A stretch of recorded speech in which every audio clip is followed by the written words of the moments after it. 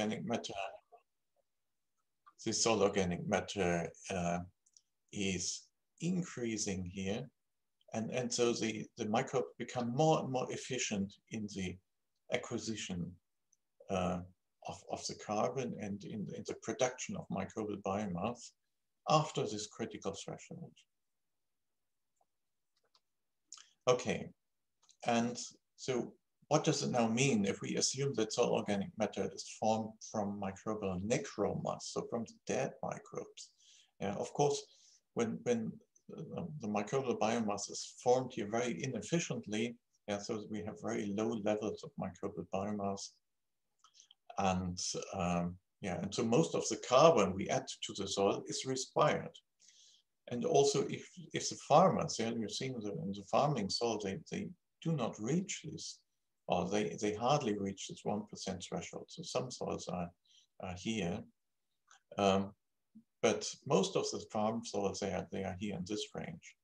That means when the farmers add carbon material, so organic matter input, but remain below the 1% carbon threshold, the system always is switching back to the inefficient state. Yeah, so most of the carbon is respired by the microbes and cannot be converted to microbial biomass.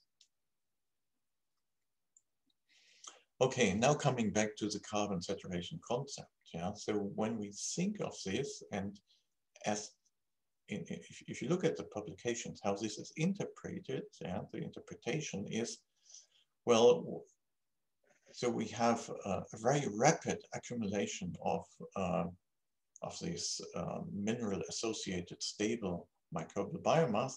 And then as the uh, threshold is reached, it becomes slower and slower and slower. What we have seen, what I've shown you now is that also at the beginning, this process is very slow. and this actually, yeah, so carbon saturation slows as the threshold is reached. But uh, this is actually a figure of Jan Frouz from, from one of his publications. And just look at this figure here. So this is the initially mineral bound carbon content. And this is the mineral bound carbon change. So the change in the amount of carbon that is fixed as a stable fraction in, in the soil. And this curve shows also a minimum here. Yeah, it's not like this here, but it, it has also a minimum here. And, and I, I think, um, yeah, so carbon saturation, this is, is uh, uh, clear evidence that carbon saturation is also slow at low soil organic carbon levels. And I think what, what we found in the chronosequence gives some explanation for the inefficiency of soil organic matter formation at these low carbon levels. Yeah, so the in the Czech Republic, so they reclaim the reclaimed soils, they have already quite some organic carbon because this is, this is fossil carbon from uh, a forest, a former um, lake sediment that is in, in, in their uh, uh, materials. This is something we do not have in, in, in, uh, in the Western German sites. Yeah, so we, we start at a very much lower carbon level here. Okay, to sum this up, so um, so what, what I showed you is that um, the potential for carbon saturation, carbon formation is definitely not reached in the agricultural soils. It does not impede productivity of those soils, yeah? so that's something else. But if we think of climate change and, and the carbon storage potential of soils, yeah, so our aim should be to increase the potential of these soils and carbon storage. And we now have a project, uh, follow-up project, where um, agricultural sites are uh, uh, fertilized with, with um, compost and brought above this 1% carbon threshold. And now we will see in the coming years whether our theory is correct and whether these soils then really are on a different stable state and, and accumulate more carbon uh, above this threshold. Um, we have seen as the young salts, they have high variability in, in the salt-to-N ratio. It's stabilizing later on. And yeah, and this was the important thing. Yeah, so there's a microbial stoichiometric threshold at 1% carbon. And this was also the critical uh, measure for the carbon use efficiency of these soils, yeah, measured as uh, maintenance respiration. Okay, and, and all this was financed by uh, the German Ministry of uh, Education and Research. Okay, thank you very much. Other questions? Okay, I thank you. Maybe because time moves, so I will just start to keep continue on that. Okay, thanks. And I will share my presentation, uh, which will basically follow up, which will basically follow up on this. I just, um, can you see it? I just try to put it in full screen mode. Yes, we can see it. Yeah. So I just want to go back to one question I have yesterday about this compaction. And I basically pull from literature some response of different plants to compaction. And you can clearly see that the optimum for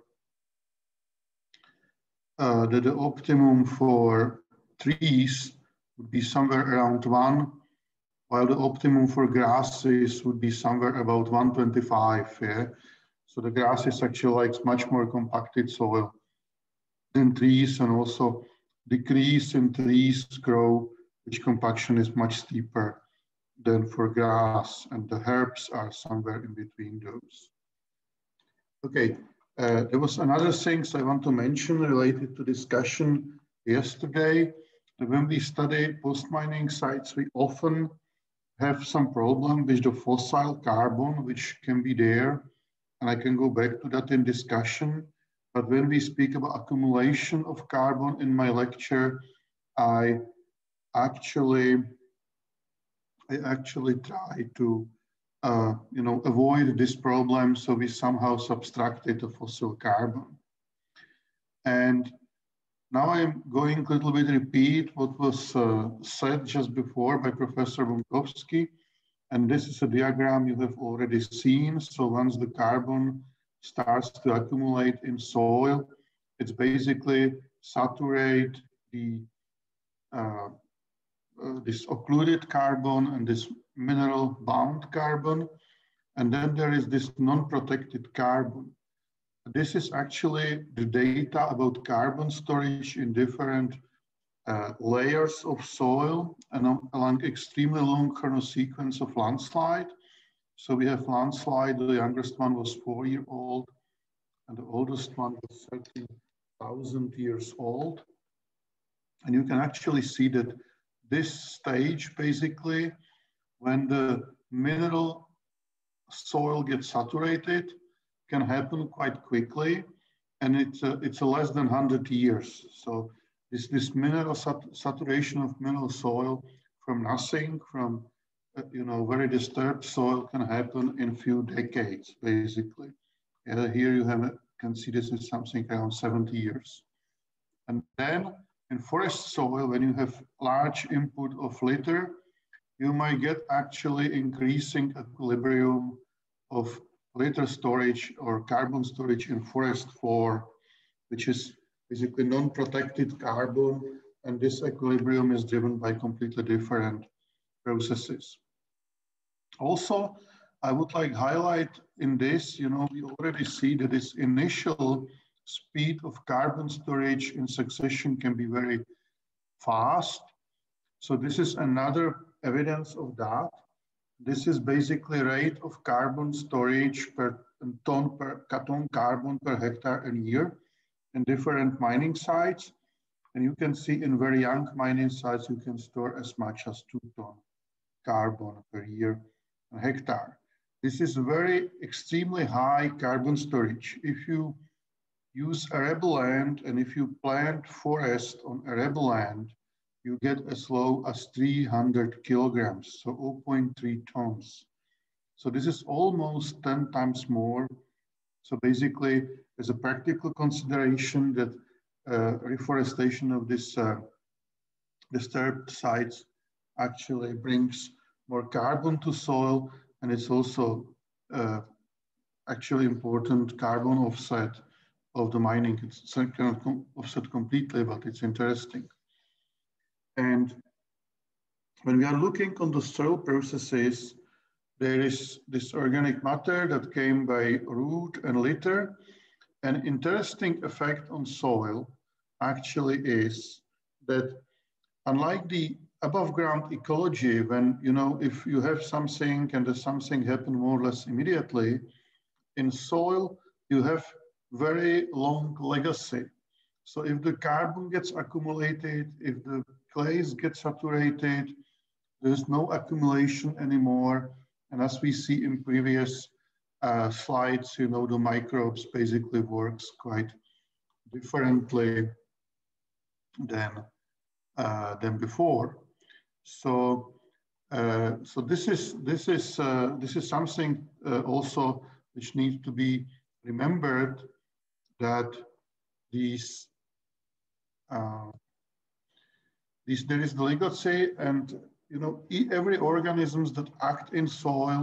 This is, for example, a soil fauna effect, and you know it consists from different processes, some of which affect system more immediately in a small scale and short time, and some of them might accumulate over time you know, if many plants leave their root exudates and many microbes change the saturation point in these aggregates, eventually all soil profile becomes saturated and all soil behavior uh, is going to change, yeah? So this legacy have also this possibility of magnifying small effect over time to spatially and temporally you know, spatially more important and temporally more persistent effect. Certainly, the soil development is affected by abiotic processes like weathering, and the weathering, you know, change uh, uh, suitability, change texture, change uh, uh, ability of plant to grow there. I just want to show that this, of course, over time, the weathering might improve you know, suitability for plant, but it's not, not always happening. You know. In some substrate, they get more weathered, they might actually release some uh, metals or some salts, which can make it even less suitable for plants. And this is often happening in mining sites. So you might have initially even some vegetation establishment, and then with ongoing weathering, this might become worse. But I'm not going to speak about that. When we look on soil, we actually see that soil under microscope is very structural thing and is actually the structures are in large extent affected by soil biota. So we see here earthworm cast and here is earthworm cast in detail. We see some millipede feces. And when we look on this worm cast under the microscope, we actually see these bacteria, and these bacteria are surrounded by clay minerals, which are these lines around them. And when the bacteria die, actually this grayish uh, layer, which actually means extracellular, you know, cell walls, it stays attached to the minerals. And this actually represent this necromass, this microbial necromass that can be stored in long term and form substantial part of the soil organic matter.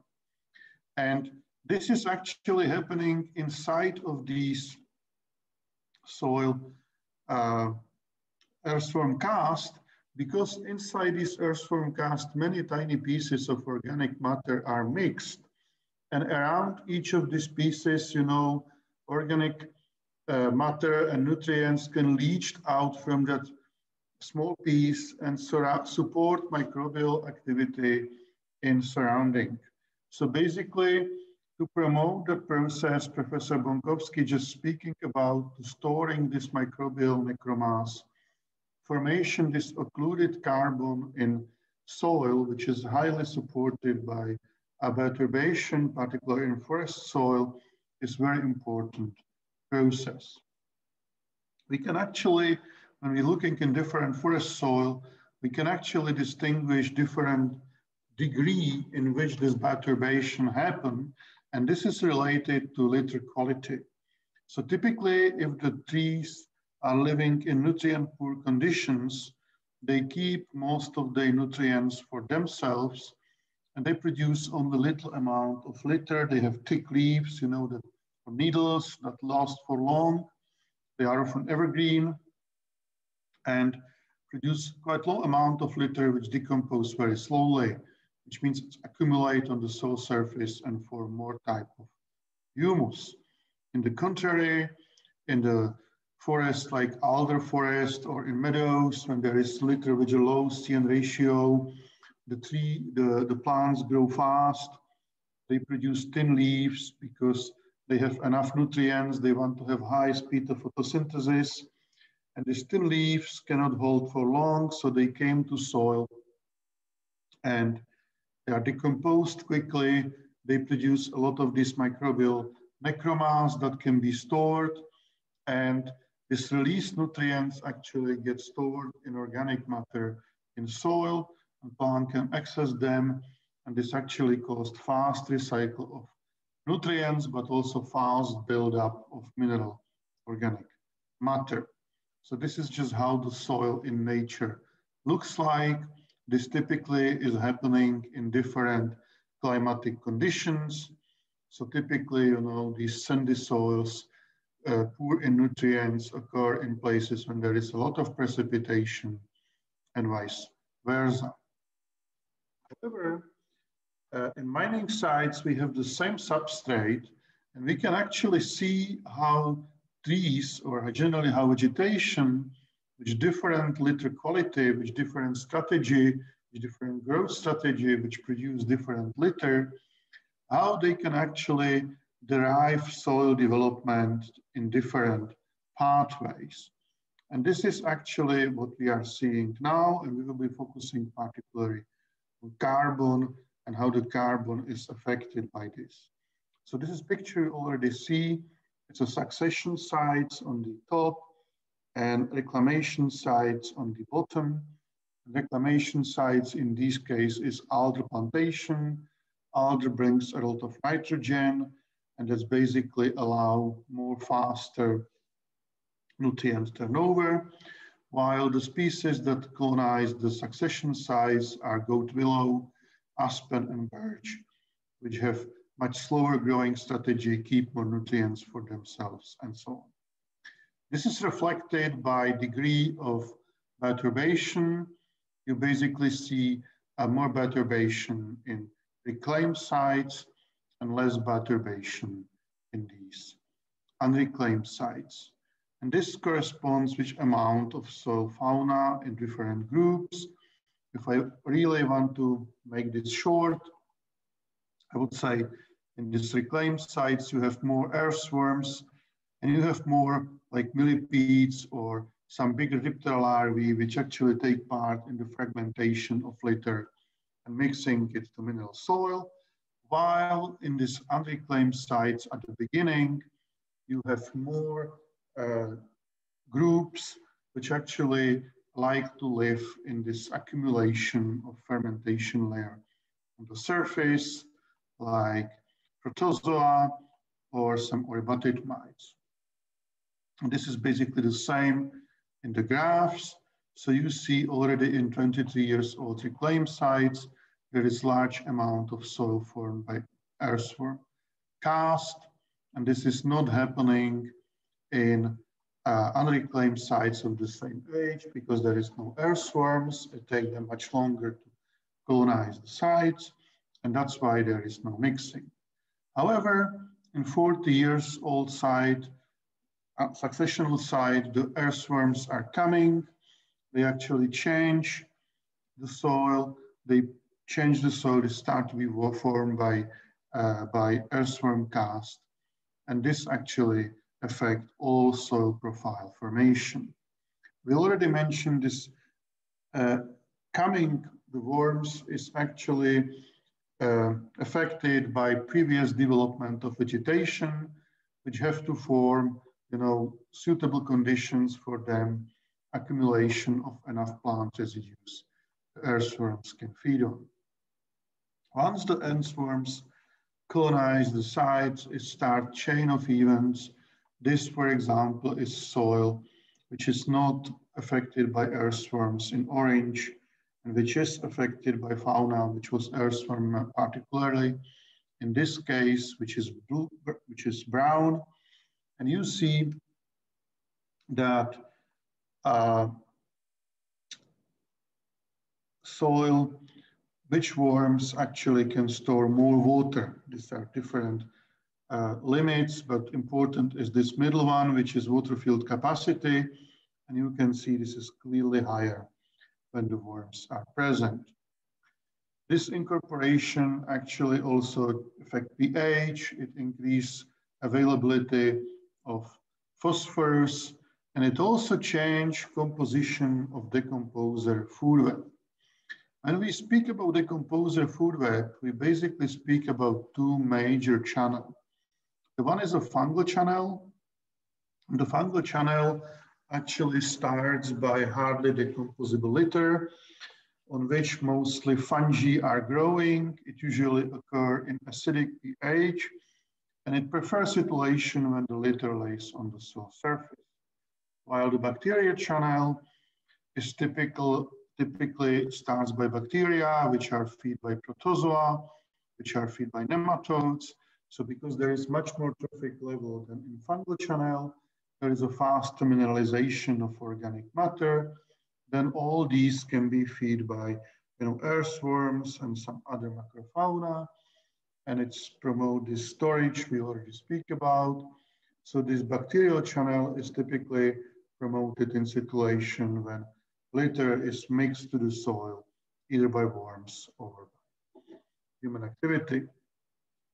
And we can actually see that in this stage, before the worm came and litter accumulated in soil surface, the fungal channel dominate, and once the earthworm came here, the bacterial channel again starts to be more pronounced.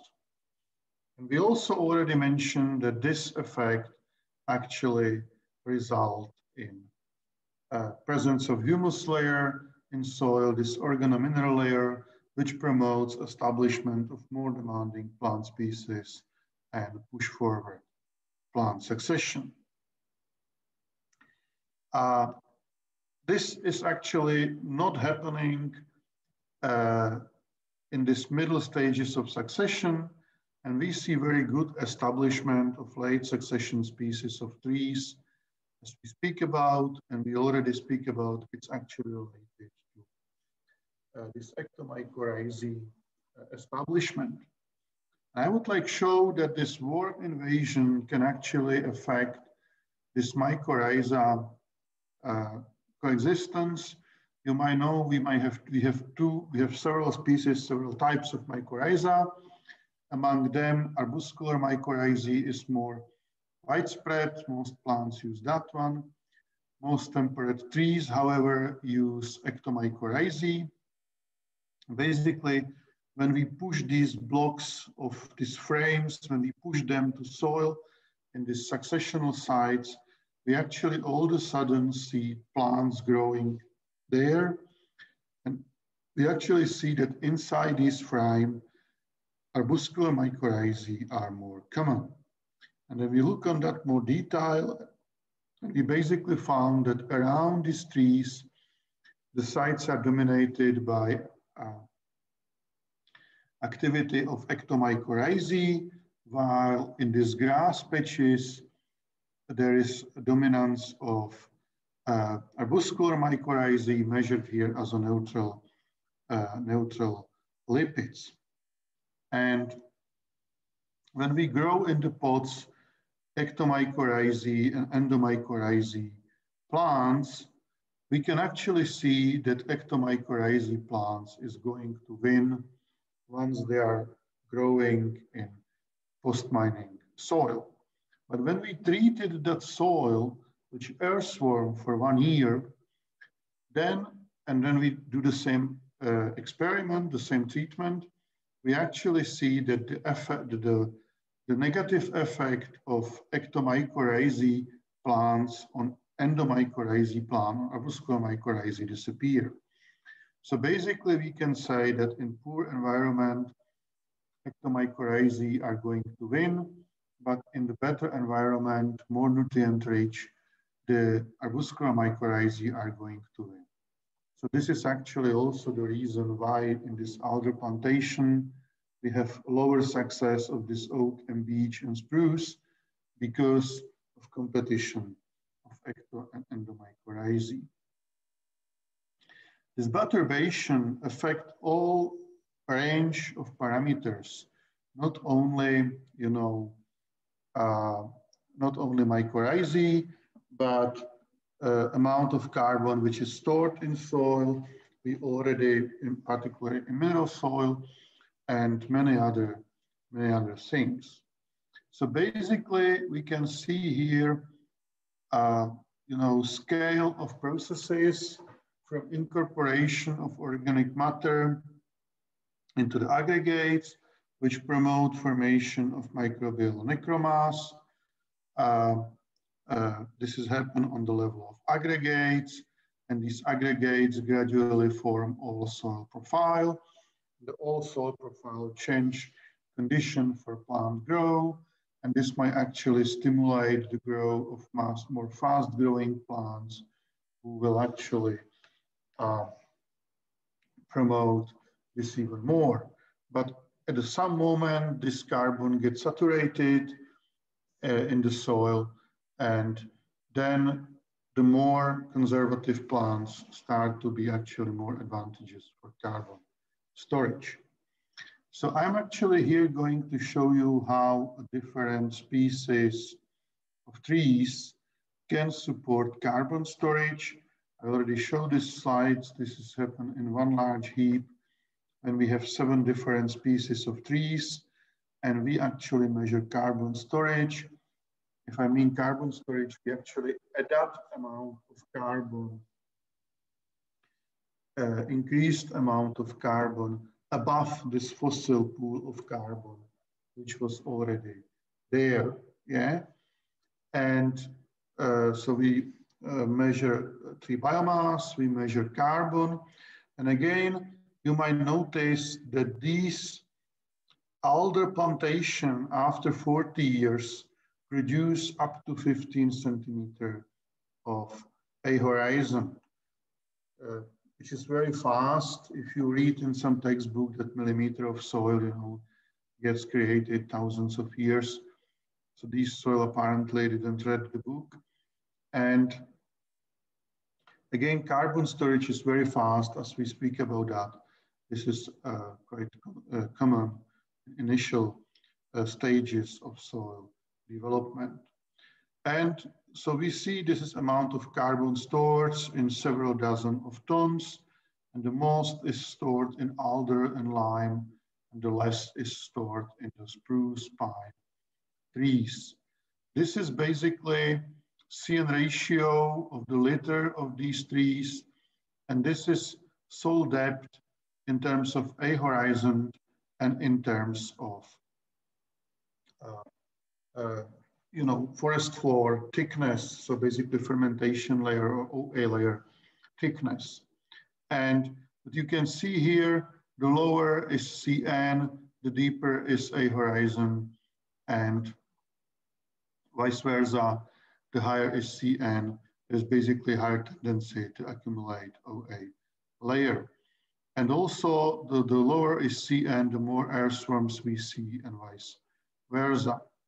So not surprisingly, carbon storage in these sites is highly correlated with uh, earthworms activity, which proportion of this worm cast in soil profile, and also which earthworm density. And we actually try to measure how much earthworms, you know, mix carbon to soil. And we can actually see that amount of carbon which is respired or leached is about the same uh, if the worms are present or not. So basically worms were present in this, absent in this. But what you can see that most of this litter that would remain on soil surface gets actually incorporated in the soil. And because that promotes the microbial uh, necromass foundation, as we already explained, and also this occlusion of organic matter have certain also positive effect on carbon storage. So in long run, in several decades, this might even promote uh, carbon storage. So this is basically uh, just to show you that in this worm cast, which is here, there is these tiny pieces of organic matter, which you don't see in soil aggregate, which was formed by other processes. And this results in much larger carbon storage in this type of aggregates.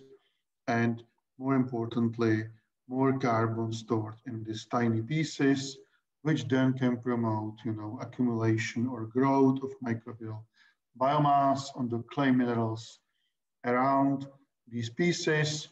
And this can promote actually formation of microbial necromass and eventually a carbon storage. And uh, we already show that this is not happening at the very beginning when the soil have no recent organic carbon because uh, Professor Bonkowski already explained the stoichiometric reason for that, and I would have some other reasons that may support it. And we can illustrate that on this example when we have this post-mining soils over here, and we add the litter, and we add the litter by two different, three different ways. We put the litter on soil surface, we mix the fragmented litter into the soil, and we uh, put the litter on soil surface, and we have two earthworms who mix it for us in each bottle. And when the earthworms consume all the litter, we add some more litter they can mix. So, and we did that several times. So basically during this first addition, uh, the earthworm showed the highest respiration. So they have a higher slow loss of added carbon. By other words, the sequestration of carbon was slowest. However, and the fastest sequestration was actually in this treatment, which is the mixed in soil. Yeah? So the tillage might initially, for example, fast, uh, cost fast accumulation of carbon, but this gets saturated very quickly. And uh, after one year, when we added carbon, we actually see the worm treatment store most carbon. Yeah. So when the we mix the soil mechanically and when we mix it by worm, there is initial lag, but long term, the earthworms actually promote more carbon storage. They more effectively promote this microbial necromass formation and storage of carbon in that. This is the picture you already see. So basically, uh, at the beginning, this there is some barrier because of microbial stoichiometry, which actually slow down this carbon accumulation, this formation of microbial necromass. And on the larger scale, these, um, these necromass formation also depends on the formation of soil aggregate and on incorporation of this tiny organic matter pieces, this particulate organic carbon, into the aggregates. And certainly, once some carbon get accumulated, uh, dissolved organic carbon amount increase, that can also promote aggregation so there is a lot of um, positive feedback mechanisms which actually promote aggregation, promote suitable environment in which this necromass can be stored. And that's actually the reason for this very fast carbon storage and initial stages of post-mining sites development. So if we, uh, this is results, how we can support that? We can support that by choosing of suitable trees. And this is actually a meta-analysis in which we found different examples when the people plant several species of tree together in one place. This is called common garden experiment. And we actually found several common garden experiment, which was established in soil of different ages. So in very young soil, in post-mining heaps, in former agricultural land and in forest land. And it was in different pH and different texture. And we actually, there was different species planted in each of this common garden experiment. There was seven species or more. And there was always several broadleaf and several conifers. So what we actually did, we make average from all broadleaf and all conifer, and we were actually asking in which condition the conifer prefer better, which is this gray area, and which condition the broadleaf uh, prefer better. And we actually see in a heap, the broadleaf store more carbon, while in this old soil, particularly in forest soil, the conifer stores more carbon. That makes sense because conifer litter is hardly to decompose. And basically this mature soil are already somewhere here. so most of the storage actually happen in forest floor or by particulate organic matter, which leach down from soil surface, from forest floor to soil. Yeah. And the broadleaves actually also do better in you know, alkaline soil or neutral soil and in a clay soil, which again supports the theory that they might support aggregate formation and formation of microbial necromass that can be bounded to uh, clay particles. Yeah. Uh, this is basically the same uh, meta-analysis, but instead of speaking about three species, we actually plot down here CN of the litter of this particular species. And we can actually see that in young soil in the heap, uh, there is clear correlation between CN ratio. So the lower is CN ratio, particularly for nine fixers, it's very high carbon storage. Uh, this, this, carbon storage is standardized per each study. So these are not tons per hectare, but this is like above average, below average for each study. The study was different. And the same for pH. So if you have alkaline pH, the same trend, you know, the lower pH, the higher storage, and the same for clay soil. So the lower uh, CN ratio, the higher storage for clay soil, but not such effect occur in sandy soil. And that's because, you know, uh, there's not really so much clay minerals to bound microbial necromass on that. So these mechanisms might not apply there. And so I already mentioned that at the beginning, it's actually good to plant broadleaf trees, but later on in mature soil, it's actually uh, conifers are doing better. And uh, we can see that also on this graph from another meta-analysis when we actually see that I already showed this graph. Once the post-mining site ages, the rate of carbon accumulation decrease. So that's a general trend. But if we look on individual type of vegetation separately, we actually see that in conifers, this uh, is, is, uh, this this correlation tend to be rather, you know, positive, or the pattern is more complex. So it's like uh, uh unimodal shape, while in broadleaves, uh, in deciduous trees, you see quite clear increase. So in conifers, at the beginning, the storage might not be so fast, or might increase with the time, and vice versa. So if we just describe these mechanisms of carbon storage, so we can actually uh, we can actually see, so this arrow should rather go somewhere here, that at the beginning we have this microbial stoichiometry limitation, what about uh, Professor Bonkowski was speaking, then we have this many positive feedbacks, which basically means that more carbon gets stored even faster. This is storing, and this counts this fast increase in few decades after you know this new substrate become available.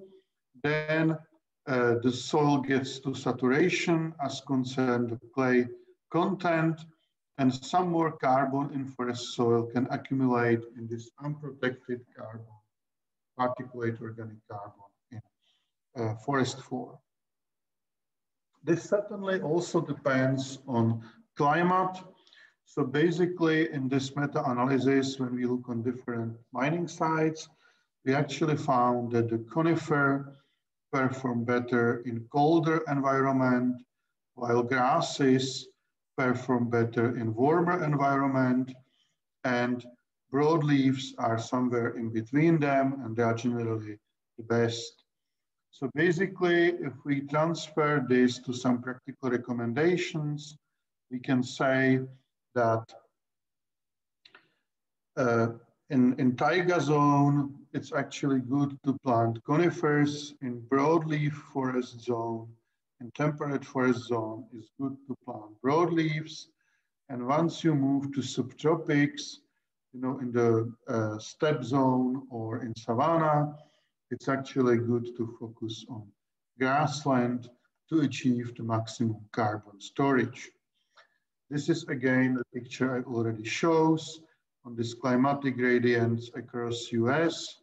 And you already see you know, how these kind of sequences looks like. And they contain either forest or uh, prairie. And this is what I want to say that in the forest, you see very intensive activity of soil fauna to forming of these aggregates. And there will be initial fast carbon storage bound to these aggregates. And the same is true for, for tall grass prairie, but you don't see anything like that in Wyoming when just this particulate organic carbon is mixed to the mineral soil. The soil is very sandy, so there is not so much, the saturation is reached very quickly. There is not so much, you know, this, this bounding of microbial necromass to, uh, to clay particles. So basically, what I was just showing for this, for this climatic gradient, for this uh, temporal gradient is also affected by texture gradient, but it's also affected by uh, climatic gradient, yeah? Uh, okay,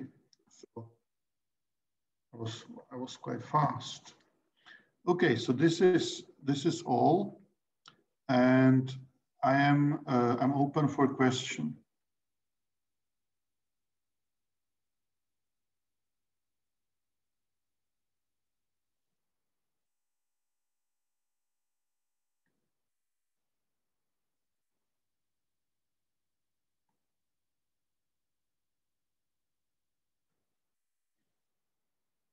Okay, so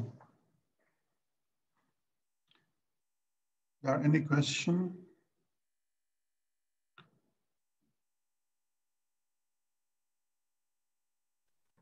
Uh, Professor, uh, see, this is directly proportional to the clay content, uh, carbon accumulation or carbon storage, particularly the microbial cells are occluded with the clay particles.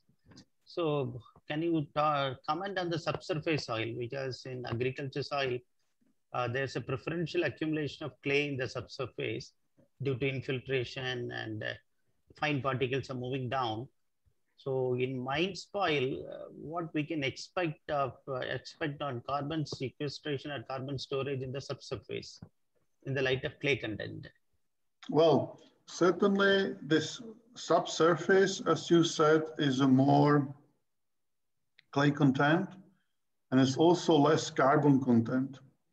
So for example, there is studies of German colleagues showing that if you have soil which is heavily eroded and you basically uh, remove, you know, erosion, wash out this uh, topsoil and uh, the B horizon is exposed, then actually carbon storage in this B horizon is much faster than in A horizon because the soil is not saturated and because there is high clay content.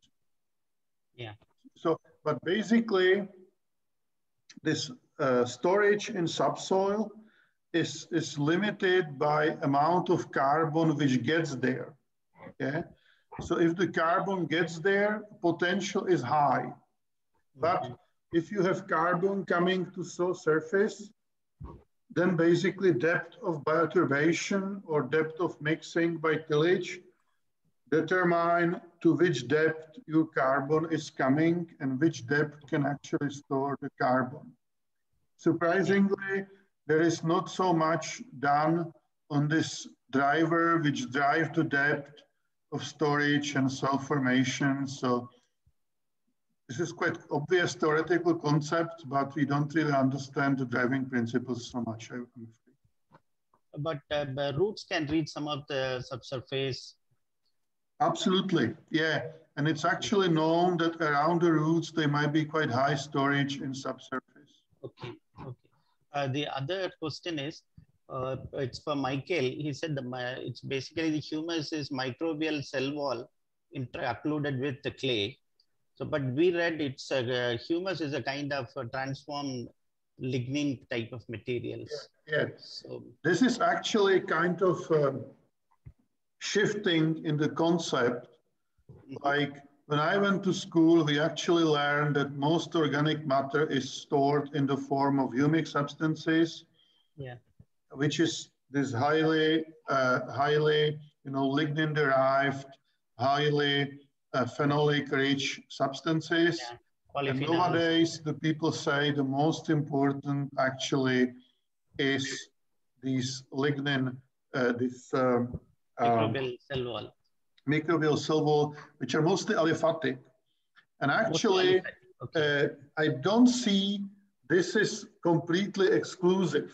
Yeah, I would say because now there was some people from this humus, I would say humus part of scientific community who actually try to prepare this humin, which we actually expect would be highly aromatic. And it actually appeared this humin looks very much like kerogen of first type. So it's a highly aliphatic. It's apparently uh, originating from cell walls. So this is what these guys speaking about like microbial necromass.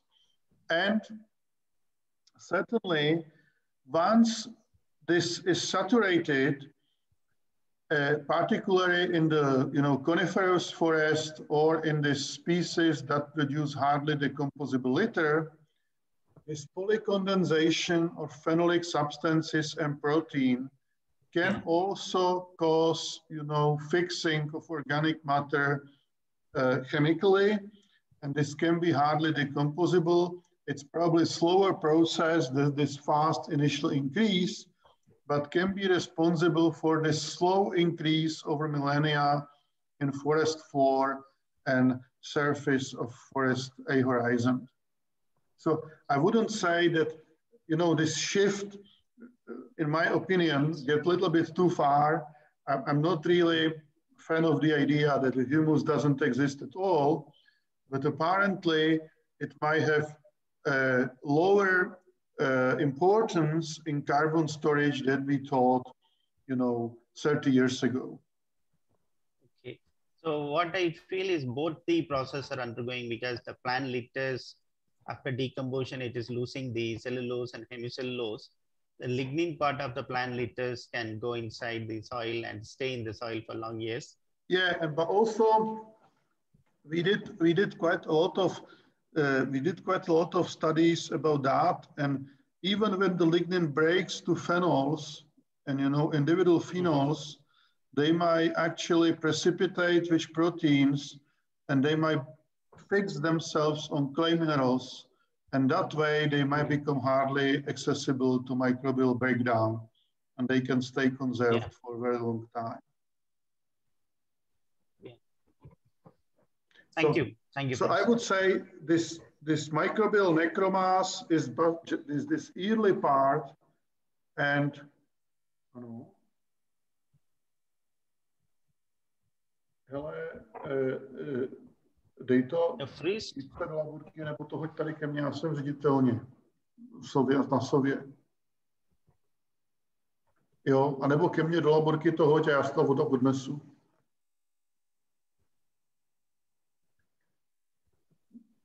Asi bude na obědě. Tak to, dej to mý jestli je tam bude v říjnu. Tak jo, díky. No, tak to tam hoď. Ne, já jsem teď ředitelně na své, máme meeting. Díky, ahoj. Sorry, that was coming. Yeah, um, this uh, aliphatic carbon of microbial origin, if once it is exposed, if there is no clay particle, it can be easily mineralized or uh, it's difficult to mineralize? I think so. Yeah, you see, there is, uh, uh, the, the people believe so, yeah, that this bonding to clay makes it actually difficult to utilized. What I understand is microbial cell wall is much fragile than plant cell wall. I don't know, I may be wrong. Yeah, the many people who make decomposition experiments, they say they are actually much more resistant decomposition than the plant cell walls. Okay, resistant but, than the plant cell wall. Yeah. Okay, thank you. It's impressive. Okay. Thank you. So there are some other questions. Yes, uh, I have a little bit of uh, to my own knowledge. Now, in uh, tropical climate like India, uh, when there is a um, high temperature in peak summer, say for example, we can get um, uh, greater than 40, 42, 43, 44 degree centigrade that time, uh, because I have not seen many earthworms uh, in uh, any reclaimed site that carefully. Now, I want to know whether that high temperature, whether earthworm will be uh, bound, uh, will, will, will hide inside a litter or they will die. That is the question. Yeah. I, I didn't you know, look at that in India, but uh, I actually have seen some sites in Dehradun, and if it's a suitable part of year, I see quite a lot of soil fauna, including earthworms. So I expect they actually survive this dry period of the year deep in the soil, and they might be active just seasonally. But we did some work, for example, in Papua New Guinea, and there the animal bioturbation is actually a very important part of carbon uh, cycle and is a substantial part of carbon from litter layer is incorporated. So, so I believe they might be important also in tropical soils. And moreover, in dry season, in tropical soils, uh, the termites would be uh, crucial because many side, reclaimed site, we have lots of ants and termites population, very yeah. common. So termites would be really important in that, I would, I would bet. Thank you, thank you, Professor. Okay, so there was some more question. Pavel, yeah. Uh, yes, Professor, I have a question. Uh, may I ask you for some clarification because on uh, one of the picture you showed that uh, earthworms increase uh, soil organic carbon content due to the increasing microbial activity but then you said also that uh, the sites with the higher abundance of earthworms uh, mm, results in uh, less carbon sequestration.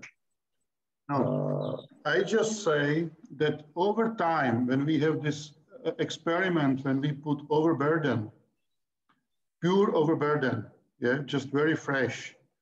And when we put earthworms into this, at the beginning, they do not promote any carbon storage. Yeah, at the very beginning, like first 20 days, first 30 days. But after that, they start to promote carbon storage.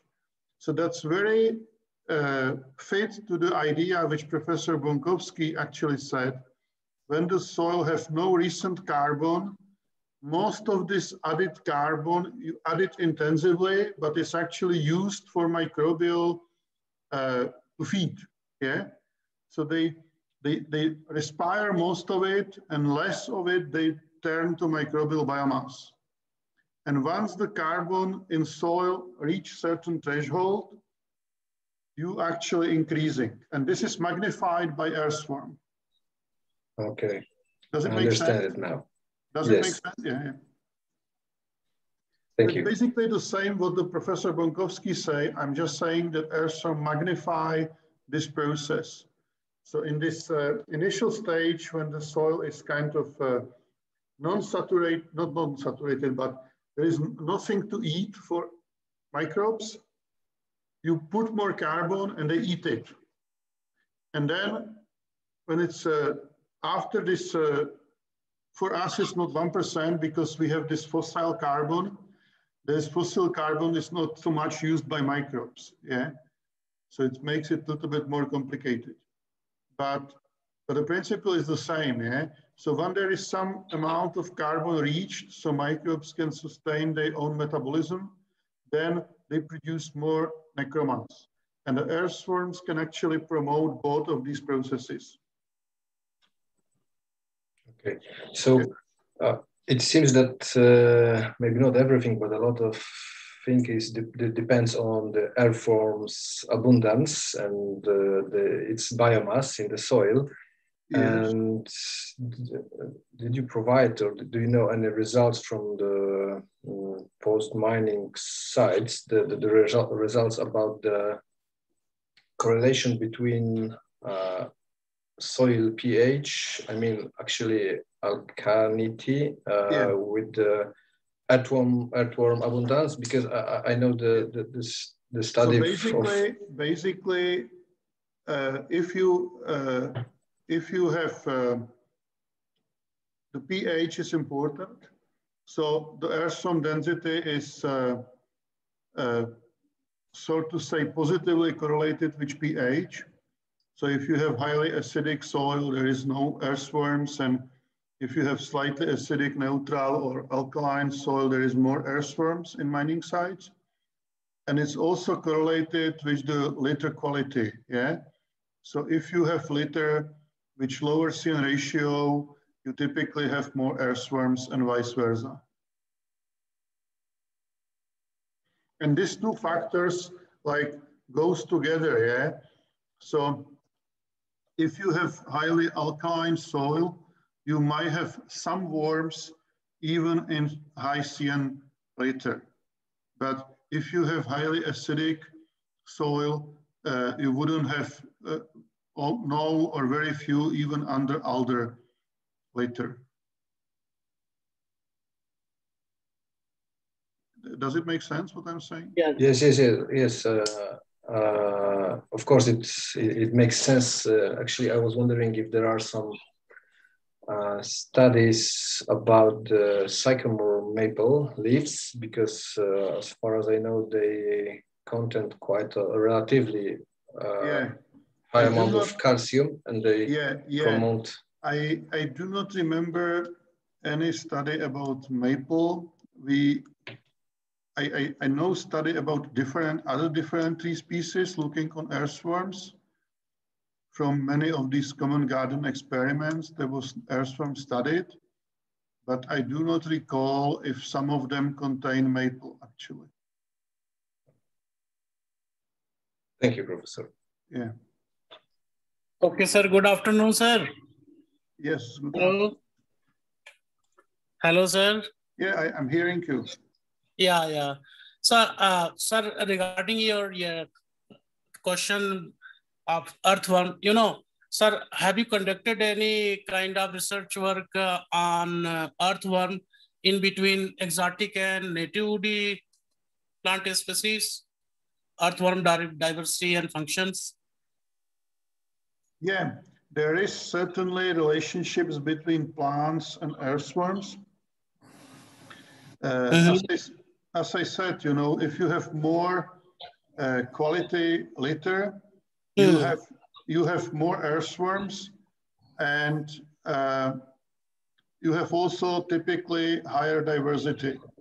If you have uh, if you have low uh, Heysen ratio, you typically have only epigeic species uh, yeah. So there is ah, relationships, but most of these studies, to be honest, was done in temperate zone. So mm. I'm not really sure how much they are transferable to tropics. Yes, sir. Uh, yeah. Another, what is the favorable temperature range for earthworm population? Is 25 to 30 degrees centigrade? I would say, you know, I really I really do not have any exact data to support that. Okay, sir. But I would say it really depends on species, you know. For temperate yeah, earthworm, it will be around 50 degrees, but I'm pretty sure it can be much more for some tropical species, but mm -hmm. I'm not really recall any hard data from top of my head. Okay, sir. Okay. Actually, sir, Professor Mathi asked about uh, the temperature in uh, dry situation in tropical uh, in tropical region. The temperature uh, because it's 40 degrees centigrade. I can give in, information because uh, earthworm, any other kind of faunal diversity may survive up to 30, 35 degrees centigrade. More than oh. temperature, it declining of faunal diversity? Yeah, I actually mm. also know it's also differ between microhabitats. So when we do our yeah, yeah, yeah, yeah, correct, sir, correct. This PNG in the rainforest temperature is typically much lower than, for example, if you make field. Mm -hmm. pH is also a very important factor. For sure. Yes. Thank you, sir. Thank you, sir. Okay. Thank you for the questions. Thank you for your attention. And we will make a break now till 1 p.m. Central European time. And then we'll be followed by Dr. Tropek, who will tell us about potential of post-mining sites for nature protection and conservation of rare species. Thank you, sir. Thank you. Okay. See you then.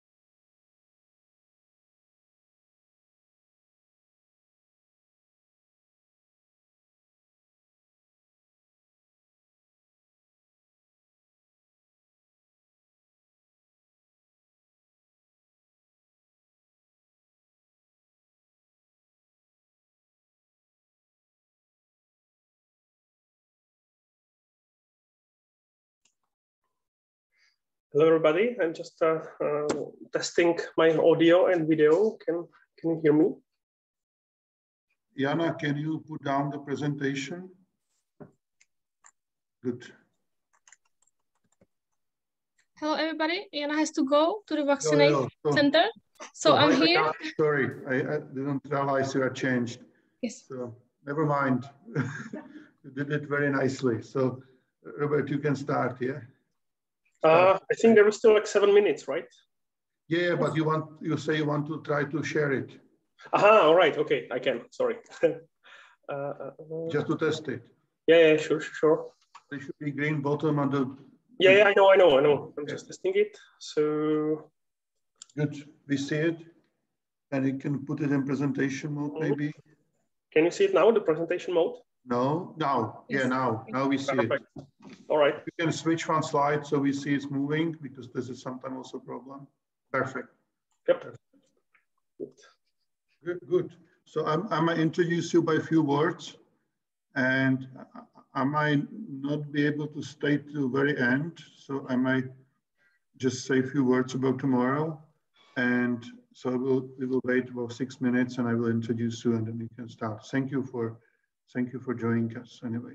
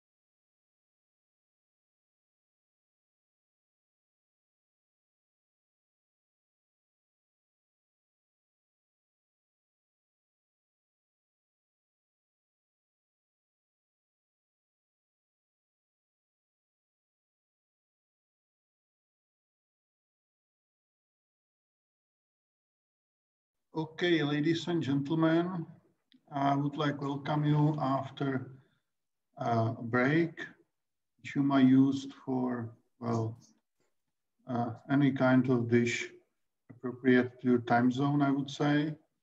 And I would like to uh, introduce uh, Robert Tropek, who is uh, uh, chairman of uh, Czech Society for Ecology by other means, and who will actually speak to us about conservation potential of post-industrial sites, because as we already mentioned, some of these post-industrial sites, including post-mining sites, are have a great value for uh, nature protection as a habitat for rare and endangered species.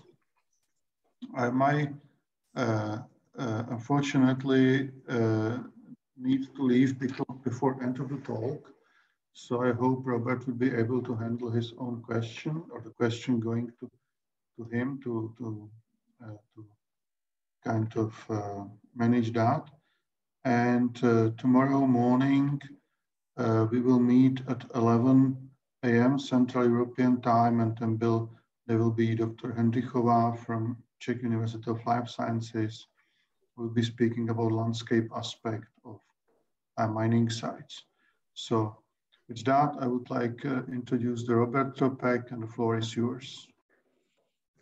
Okay, thank you very much, uh, Jan, for invitation and for introduction. Uh, I will just say a few more words about myself. Uh, I'm actually coming from the very industrial part of our uh, country. Uh, actually, I was born just uh, five kilometers from this uh, like quite ugly uh, place and i grew up uh, just uh, just just nearby that. So i have very personal experience with these kind of sites. And i'm actually researching diversity there since 2003 or 4 so it's also quite a longer time and i'm like more and more surprised uh, how sometimes uh, these um, like uh, often ugly and dark sites can be also like the real refugees of biodiversity. And I will try to share some of my experience or experience from other studies from these sites and to show you that like uh, industry and uh, like artificial industrial sites are not only destroying our landscape, uh, but they are also offering some second chance uh, to some uh, species which are vanishing from our landscape. Uh, I'm actually entomologist, so quite a lot of examples will be about insects. Uh, but uh, as you will see, and as I'm pretty sure that uh, you can have your personal experience, quite some of these principles can be generalized to other groups as well. So basically, uh, why it's not working at this moment. Yeah, okay. So I will uh, basically, the, the uh, um, lecture will be structured uh, to uh, three main parts. The first will be very short and I will basically just very briefly introduce the state of European nature. Like my lecture is really centered to Europe and maybe mainly to Central Europe. then Uh, I will actually introduce uh, how uh, helpful uh, some sites uh, can be to protect or support these vanishing species. And then the last part, I will be speaking about some restoration management and restoration tools and their effect on these on this diversity potential. So first, rhetorical question, how is our nature? Uh, like uh, we all know that uh, our nature is not in the best shape, but uh, if you go to insects, like a quite diverse and heterogeneous uh, group of uh, organisms, we can actually uh, we can end up uh, in the uh, in the situation that is maybe even worse than many of us could expect. Like these are just summaries summaries Uh, from national red lists. Uh, so basically, uh, some evaluation of um, population declines of individual species.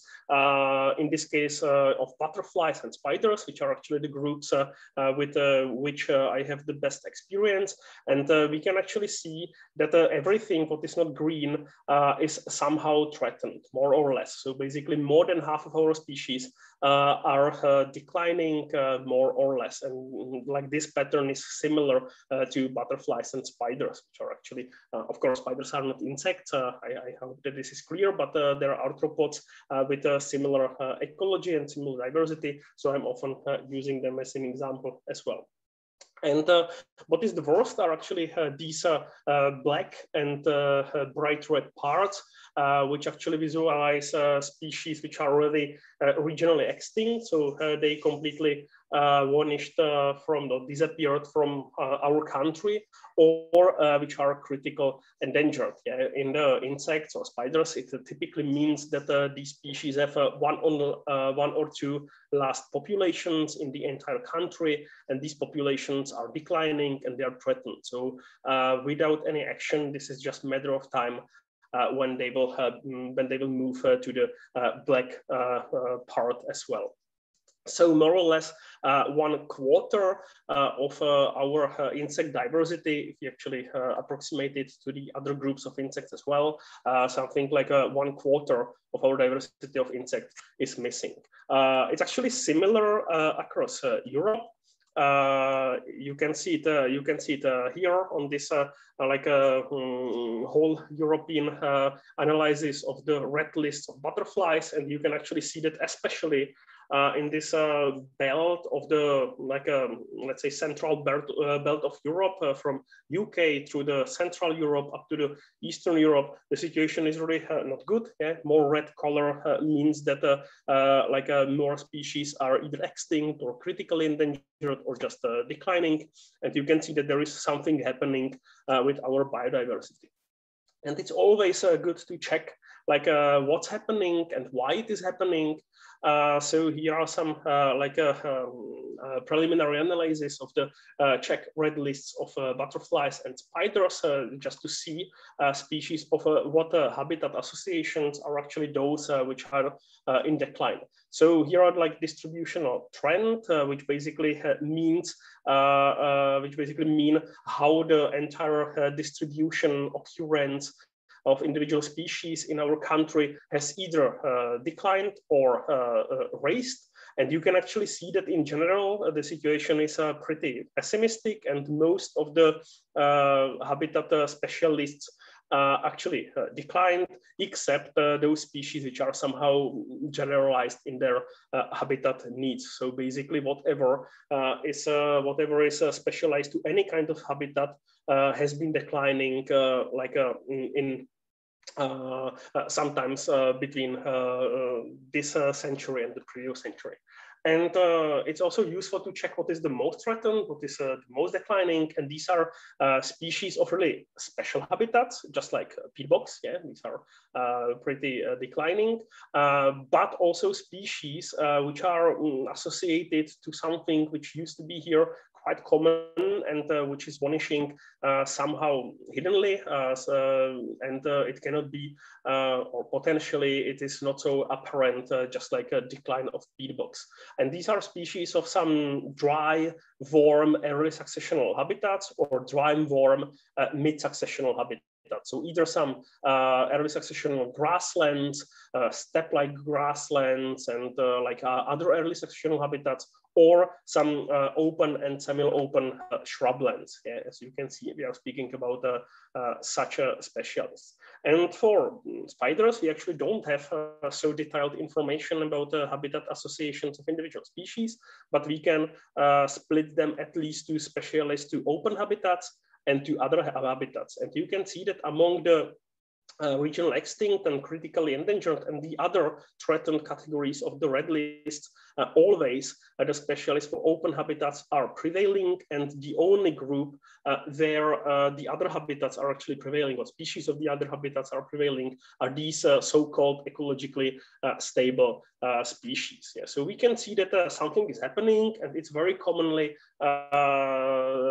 like negatively related to like open habitats in both butterflies and spiders and it can be generalized for other uh, as well. And basically this situation is not so unique uh, for uh, our country or Central Europe only. Uh, here are just two examples, but there are like uh, numerous uh, studies from across basically the entire Holarctic, whole Arctic region basically, this is a already quite a famous and uh, classical uh, study by Jeremy Thomas, which is actually the first uh, study uh, when uh, some researchers put uh, together like habitat associations of individual species and their status in the red list. And basically, this was done on British beetles. And you can see that a big part of these threatened species, like you can see that this is the highest uh, bar and um, mm, these uh, species uh, are actually related to the earliest stages of succession with a lot of bare substrate. Mm, these are typically disturbed habitats and so on. And it can be surprising that these species belong among the most endangered group of, uh, of, of beetles. And uh, similarly, uh, this is uh, some uh, study uh, from the Mediterranean, from Greece, and it's basically studying diversity of threatened of red listed species of butterflies in related to succession on the abandoned pastures and grazelands. And you can basically see that the more closed the canopy of shrubs and trees is, uh, less uh, red listed species of butterflies you can find it. So again, like a species of uh, grasslands and other open habitats are uh, much more threatened than the species of uh, forests. Yeah? So basically the take home message from the beginning is that uh, species of young habitats are definitely endangered in Europe and they should be somehow prioritized in the nature conservation.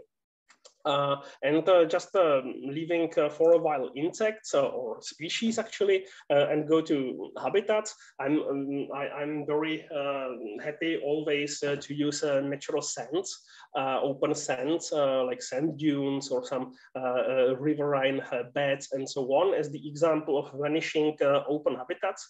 like these are definitely disturbance uh, dependent uh, habitats. They were created uh, by, by intensive disturbance, by the riverine dynamics, by fires, Uh, and then they were maintained uh, by, uh, again, fires and uh, um, dry stress and so on, uh, together with intensive grazing by, um, by mega herbivores. And basically, in the um, already a few centuries ago, we have suppressed these natural disturbances, like we somehow regulated all our rivers to basically avoid flooding, because of course we don't want to have floodings in our landscapes. like we are suppressing or uh, fires independently they are artificial or natural. Uh, we basically erased all the natural mega herbivores from the landscapes and we usually don't uh, have uh, cattle in these uh, non-productive uh, habitats. Uh, plus, actually, uh, there was a very intensive afforestation of these bare lands, which is useless for anything already a few centuries ago. So basically, currently, we have only a few small remnants, which are fully dependent on our activities. Uh, this is the example of some kind of model landscapes along the, the Elbe River uh, here in the like uh, northern part of our country and all the black polygons are basically the natural uh, sand dunes drift sand dunes uh, which has always been uh, kind of a rare uh, habitat in Central Europe, only along the large rivers, rivers. But as you can see, it was not so rare and definitely uh, there was a good opportunity for species to get specialized uh, and uh, very well adapted for these uh, extreme conditions. And basically, as I said, these are mm, already like previous areas of drifts and dunes. Basically, almost everything of that completely disappeared.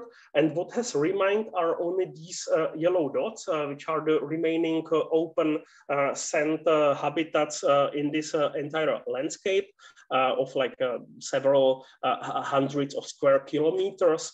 And none of them is really large. they are usually of the size of the standard lecture room or even smaller.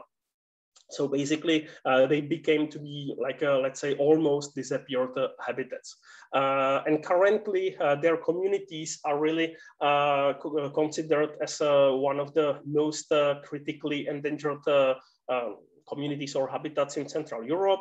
Uh, like as I said, uh, species are really well adapted uh, to uh, to uh, those habitats because they are extreme. They are very strongly desiccative. They are very very sensitive to any disturbances because they are created and maintained by disturbances. And basically, the species which are really strongly adapted to these conditions they are not able to live anywhere else uh, in the common landscape, especially because uh, they are commonly overcompeted uh, by a stronger species. And basically, just two examples of uh, butterflies, uh, which were among these so-called psammophilous species, which means that they were very strongly adapted to these open sands.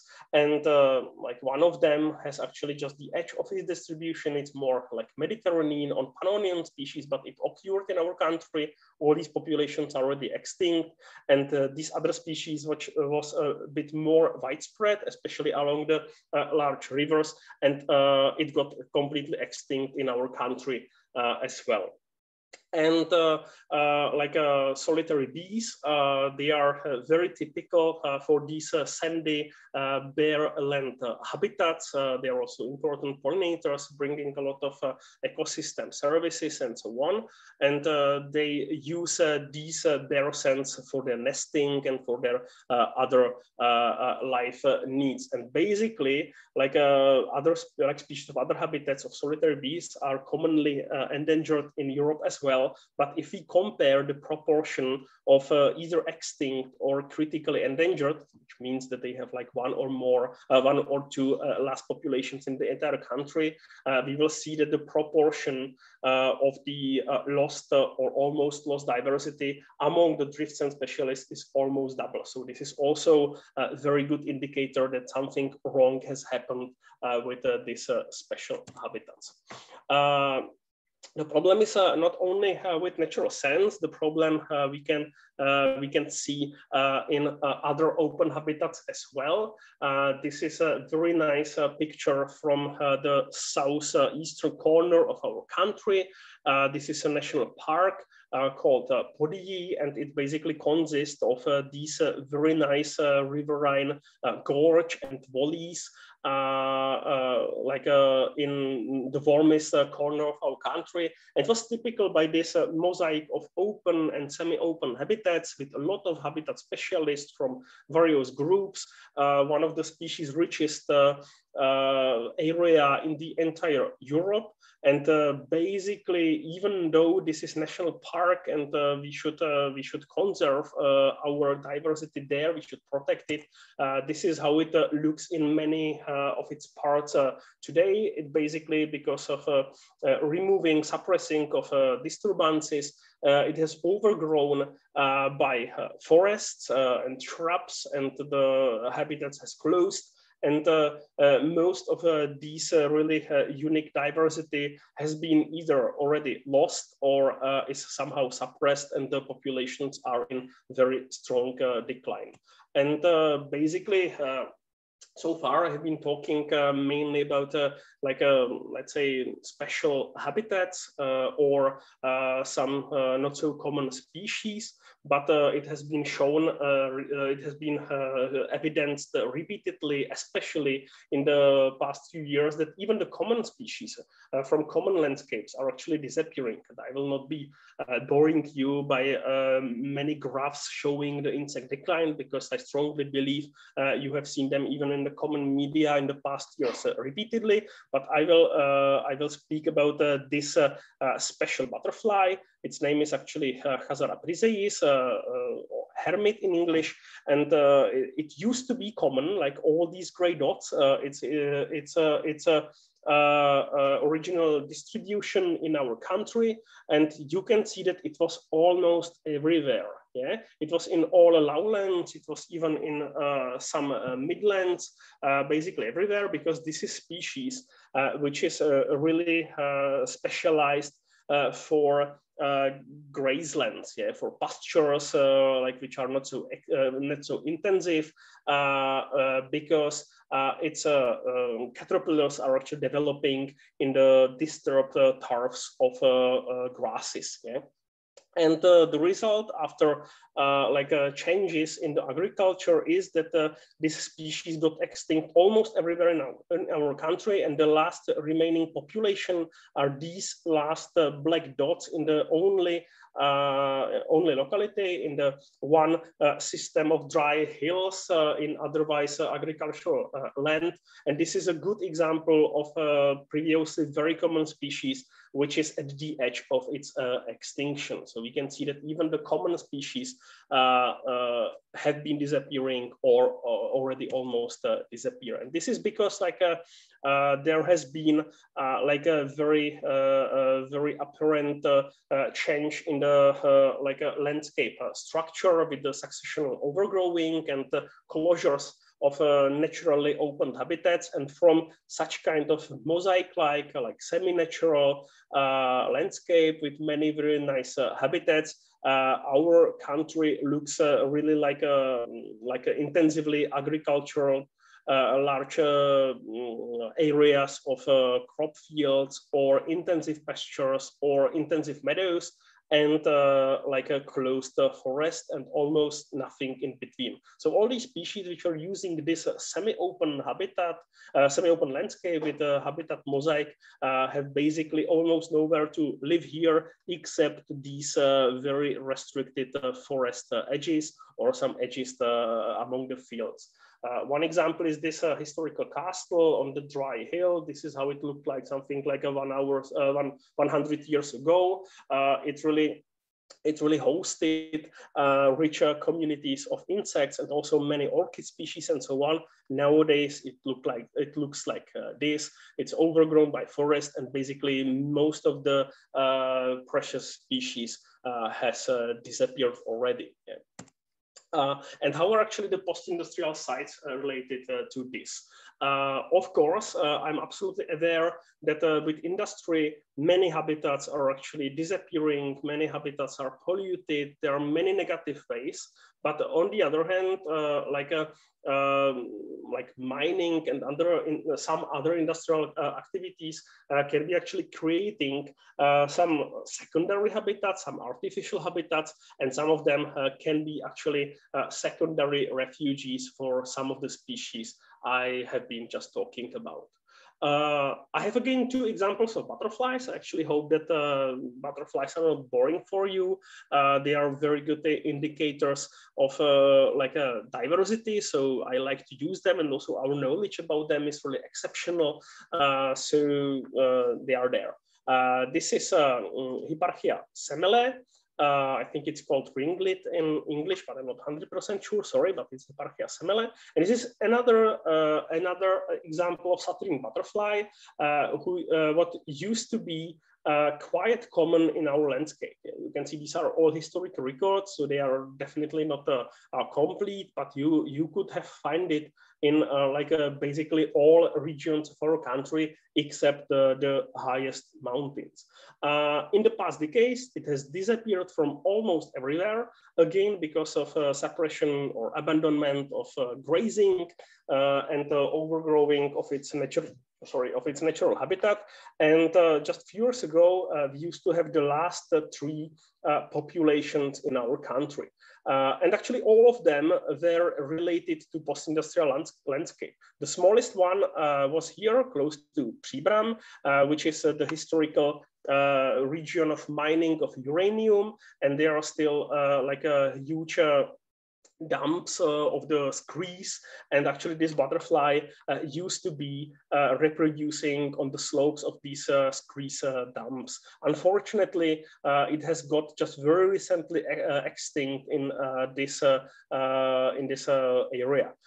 the second, this time quite large population is just in Prague, and uh, in the uh, southwestern uh, outskirts of Prague, and uh, here, uh, the species actually uh, surviving and very efficiently reproducing uh, in two types of habitats. One is actually uh, natural reserves of the remnants of a steppe-like grasslands, very often trampled intensively by tourists, because again, it's a uh, caterpillars really need to disturb, uh, disturb the tufts of uh, grasses. And the second is actually uh, these uh, limestone quarries, abandoned limestone quarries, but sometimes even the still active limestone quarries, because they are created these like fine grained uh, mosaics of uh, like a secondary, but uh, by its uh, uh, community composition, semi-natural um, habitats. And uh, this is exactly what this species means. And without that,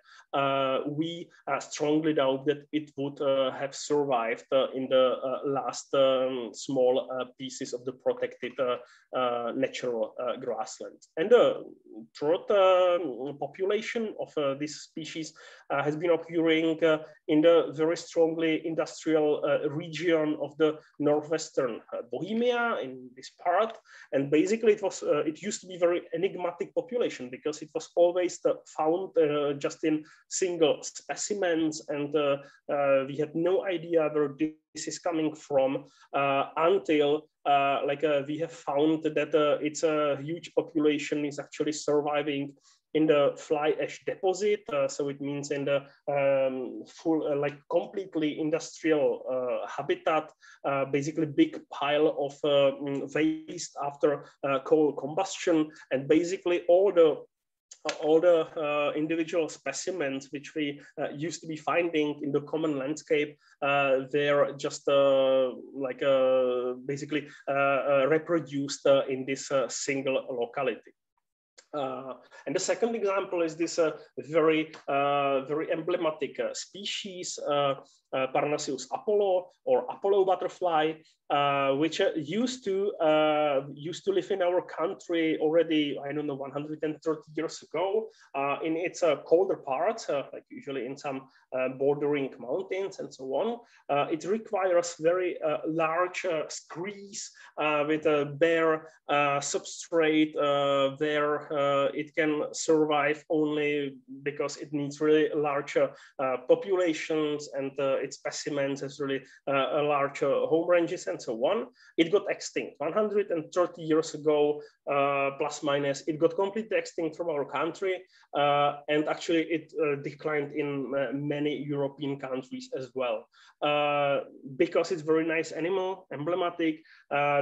Like since that time, there have been like definitely definitely dozens and maybe even hundreds uh, of tries to reintroduce it uh, back.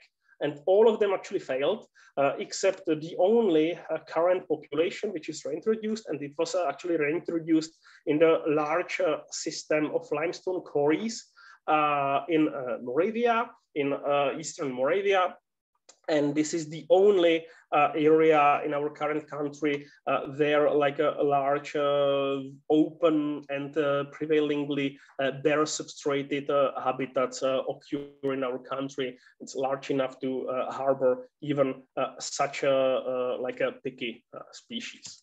So that's it. but like these post-industrial sites can be very, very Uh, important refugees on biodiversity, uh, even in the regional scale. Uh, I really like to use uh, the uh, Kladno region. Uh, this is actually a region uh, just uh, at the outskirts of Prague. Kladno is like a mid-sized town, like not so far from Prague. There is even like the, the public Prague transport going there. and because, of the, because of its position, it always used to be intensively agricultural area because like uh, uh, even historically, uh, like uh, there were produced a lot of uh, food uh, for Prague. Plus, it is also the area of one of very few areas in our country of black coal. So it led to like a big, um, like big industrialization of this region already several several um, centuries ago. And as a result, uh, like uh, this uh, region has been quite strongly dis destroyed. there are almost no natural or even semi-natural habitats. This is how it looks like. These are really intensive fields, industrial areas, and all these uh, like uh, areas which could seem like a natural forest uh, from the aerial picture, these are basically uh, old uh, mm, dumps uh, after after coal mining. So basically, there are almost no semi-natural sites. Basically, this is how it looks like. These, this, this is the intensive agricultural areas. somehow, somehow interrupted uh, sometimes somehow interrupted uh, by uh, these very let's say, uh, weird uh, hills. And these are not hills, of course. These are uh, big uh, dumps of spoil after mining or after metallurgic industry and so on. And uh, they can offer very interesting uh, habitats. Like this is the largest um, black coal spoil dump in the area.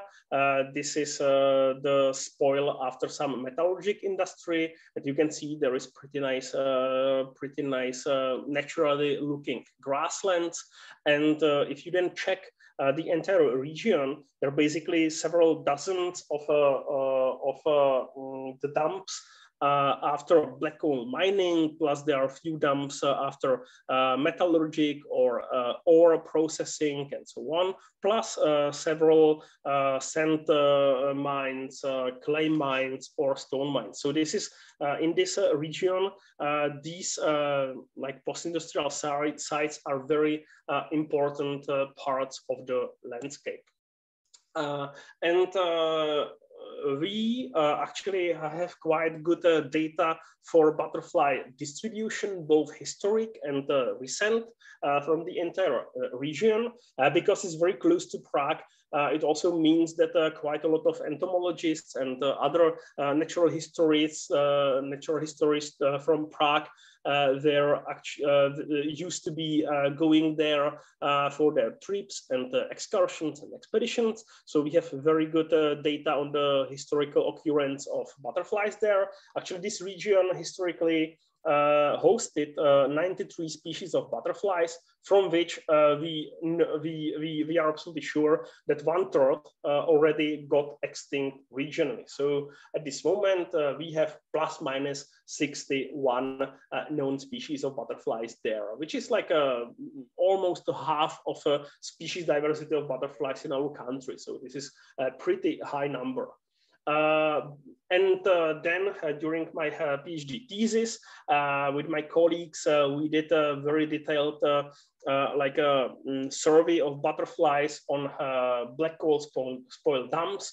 And we have actually realized that from these 61 unknown species, uh, like almost all of them occur uh, in the black coal spoil dumps. And it's also necessary to say that the uh, really overwhelming majority of the threatened species and some non-threatened species occur uh, solely uh, on the black coal spoil dumps and nowhere else in the region. So basically, this is the example when these post-industrial sites uh, are the real refugee of diversity in the entire region, uh, which would have been uh, much poorer than with them. Yeah.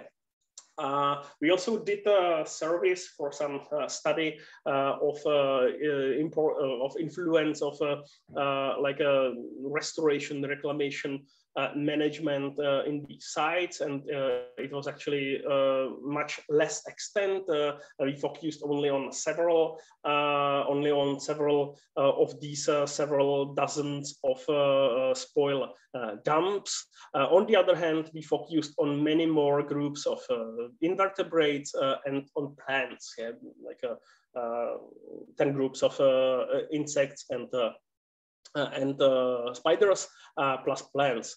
And we have actually found that uh, like uh, there are quite a few like threatened species even in these uh, even in these groups, including one species which used to be considered to be extinct in the entire country. It has some secondary population or the population on the secondary habitat. There, the species actually survived the changes in our landscape. one critically endangered species and uh, several uh, other uh, species of the red list. And actually quite a few, uh, like um, much more than 10% of species found uh, in these spoil dumps were considered as the specialist for the natural steppes, for the undisturbed steppes, but they are obviously able to uh, survive even in these like uh, disturbance created uh, industrial habitats although uh, they are uh, disappearing from the common landscape. So basically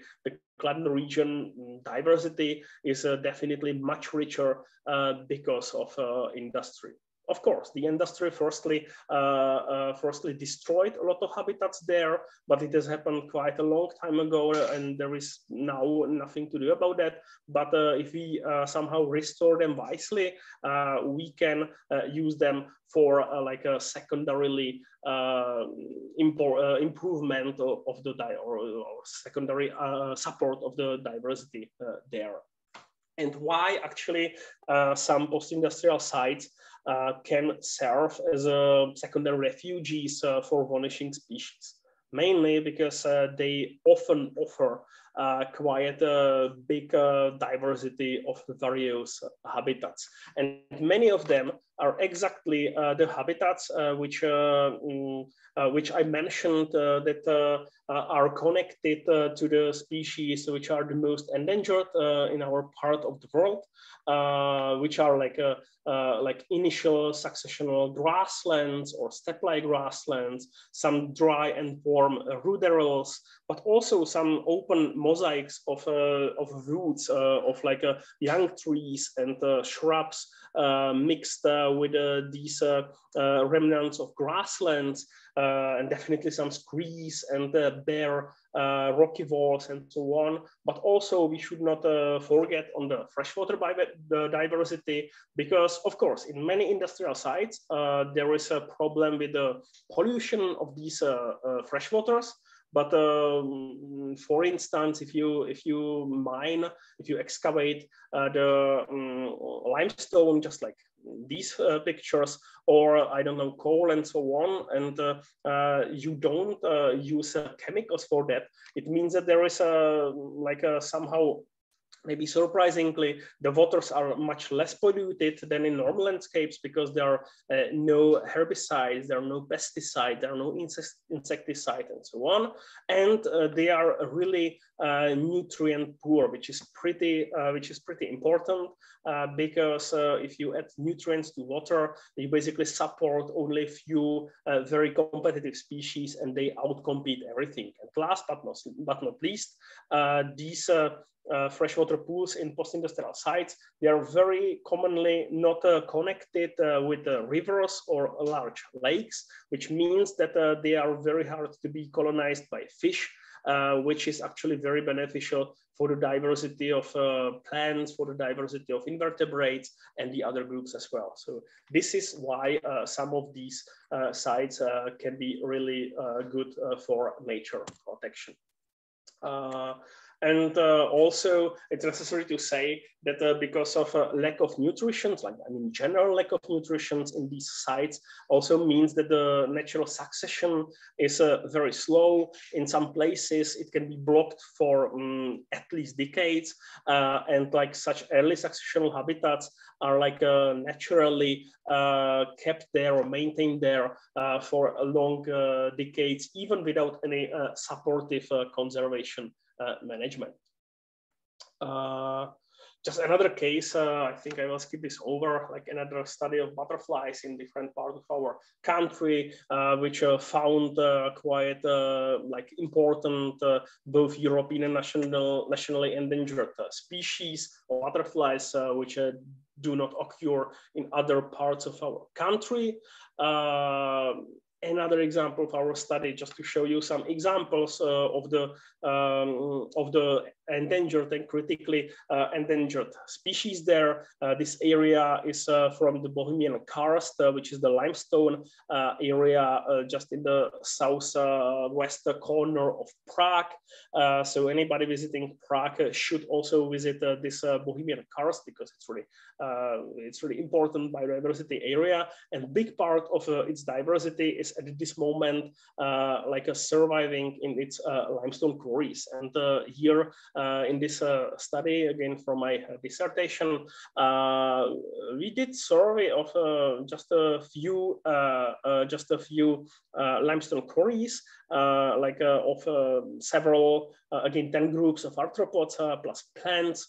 And we found, again, one species of, uh, in this case, leafhopper, which was considered to be regionally extinct in the entire country, uh, two critically endangered species. One of them, as an example, is uh, this uh, uh, grasshopper, Oedipoda germanica, uh, which used to be relatively common in our country in the warm areas, but at this moment it has only two last populations, and both of them are actually living in old abandoned quarries etc., etc. Uh, like uh, another example, uh, this time, uh, these are brown coal uh, spoil heaps, and uh, this study actually focused on freshwater diversity, in this case on uh, on dragonflies uh, mm, in the uh, in the freshwater pools there. some of them can be really nice in the really nice landscape. I'm pretty sure that Marketa Hendrychová will show you very nice pictures of these sites tomorrow if you haven't seen them yet. And uh, we basically found uh, like uh, almost half of a diversity of species just in a few brown coal spoil heaps uh, in the strongly industrial region of our country, and eight of them were threatened, including uh, one endangered and seven uh, vulnerable uh, species, uh, which is quite impressive if you know that uh, uh, we basically surveyed only nine heaps and in the in within them only about 60 60 quite small pools. Uh, and uh, like um, uh, uh, these these heaps uh, can actually harbor even uh, very specialized and very very unique or endangered communities as well. we focused also on the drainage ditches, so completely artificial um, like structures in the like within the completely uh, artificial sites. Yeah, these are uh, like um, spoil heaps, uh, uh, and uh, these ditches were built to basically drain them. Uh, which is in generally definitely not a positive, but on the other hand, uh, because they are not so intensive, like these ditches, uh, they are pretty mild, the slope is pretty mild and so on. So many of them are full of water during the entire year, and they are basically uh, serving as a small uh, as a small streams. And basically, the headwaters in the lowland uh, in uh, our part of the world again uh, belong among the most threatened habitats at all because you know in the lowlands like we use anything where there are nutrients and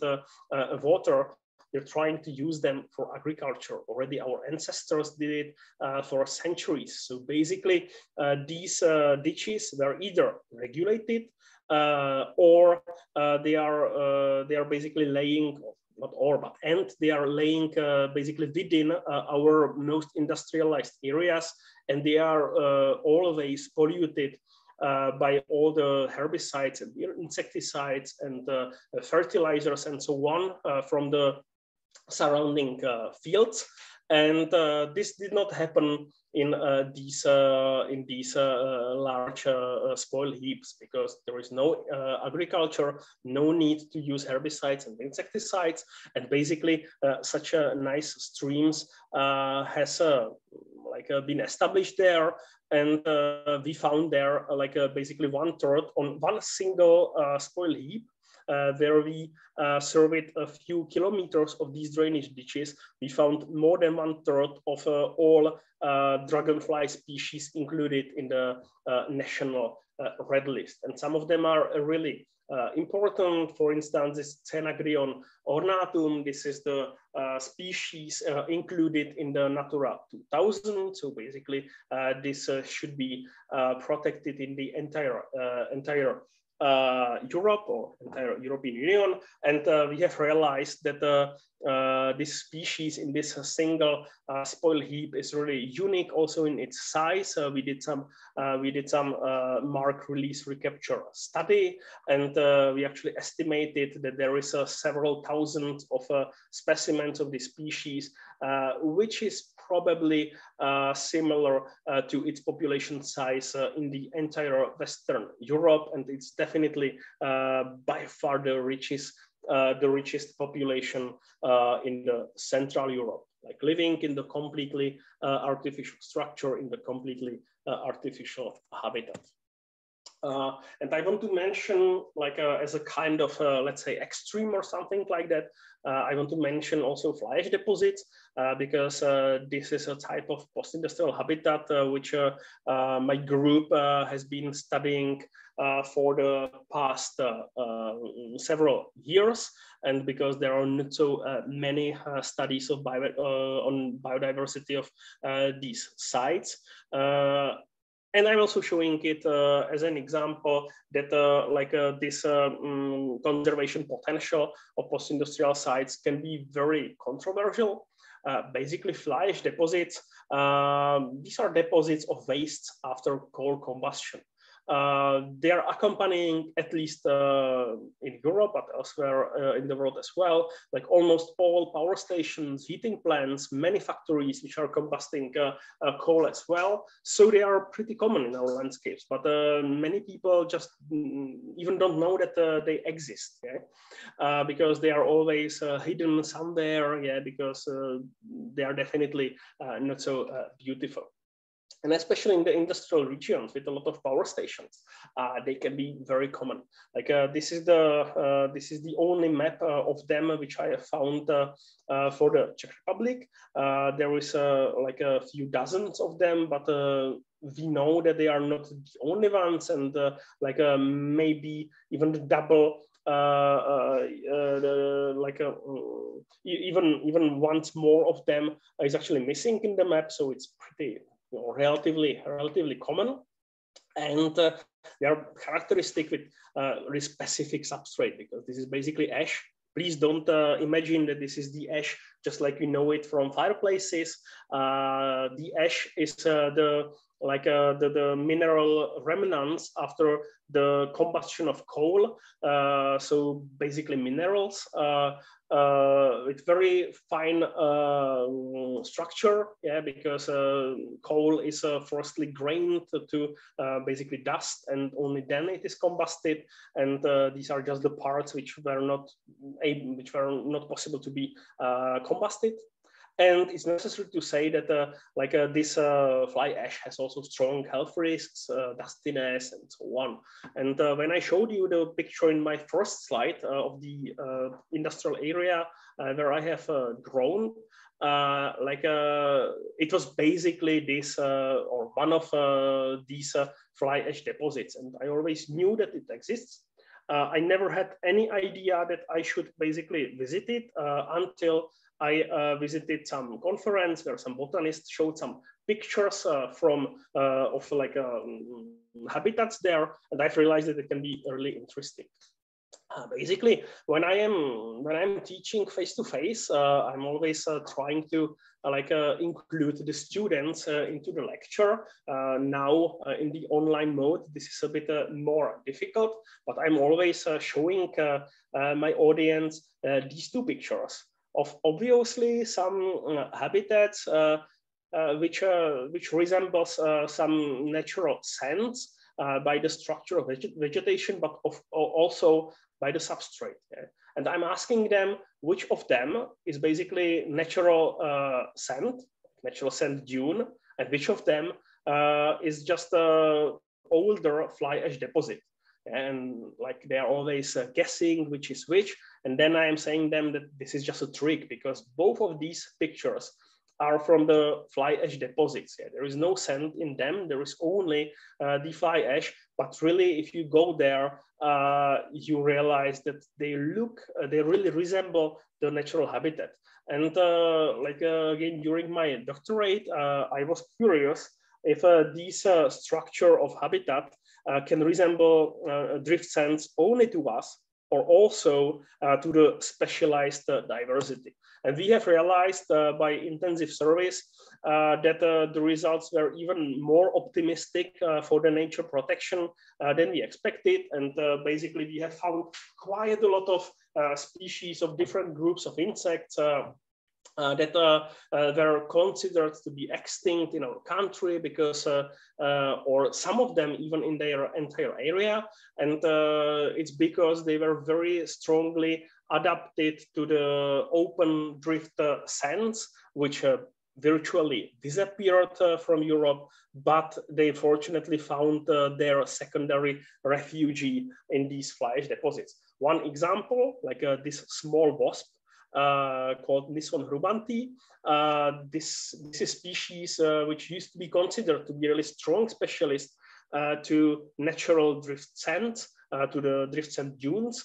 Uh, it used to be known only from Czech Republic, Austria, Hungary, and Slovakia, and from each country only from a few populations. And during the past, I don't know, 30 years, most of this population got extinct and it was uh, considered to be almost extinct in the wild. I think there was just one or two populations uh, known, uh, but we have found it uh, in quite a few uh, fly ash deposits in our country. Uh, we are very happy that this species found its second chance to survive in these industrial industrial areas and that uh, it is uh, not extinct, which is great. And I already know uh, from recent that now it's even better because mm, there are some uh, restoration of these natural sand dunes, these overgrown and afforested natural sand dunes to like give them back into the state of open habitats with their sands. And it was already observed that this specific species is uh, again spreading from their in, from the industrial sites to the natural ones. So basically, uh, uh, we created some kind of a Noah's arks uh, for this species and possibly also for others, but we don't have evidence. Uh, and now we are restoring its natural habitats and uh, it's basically moving back to the normal landscape.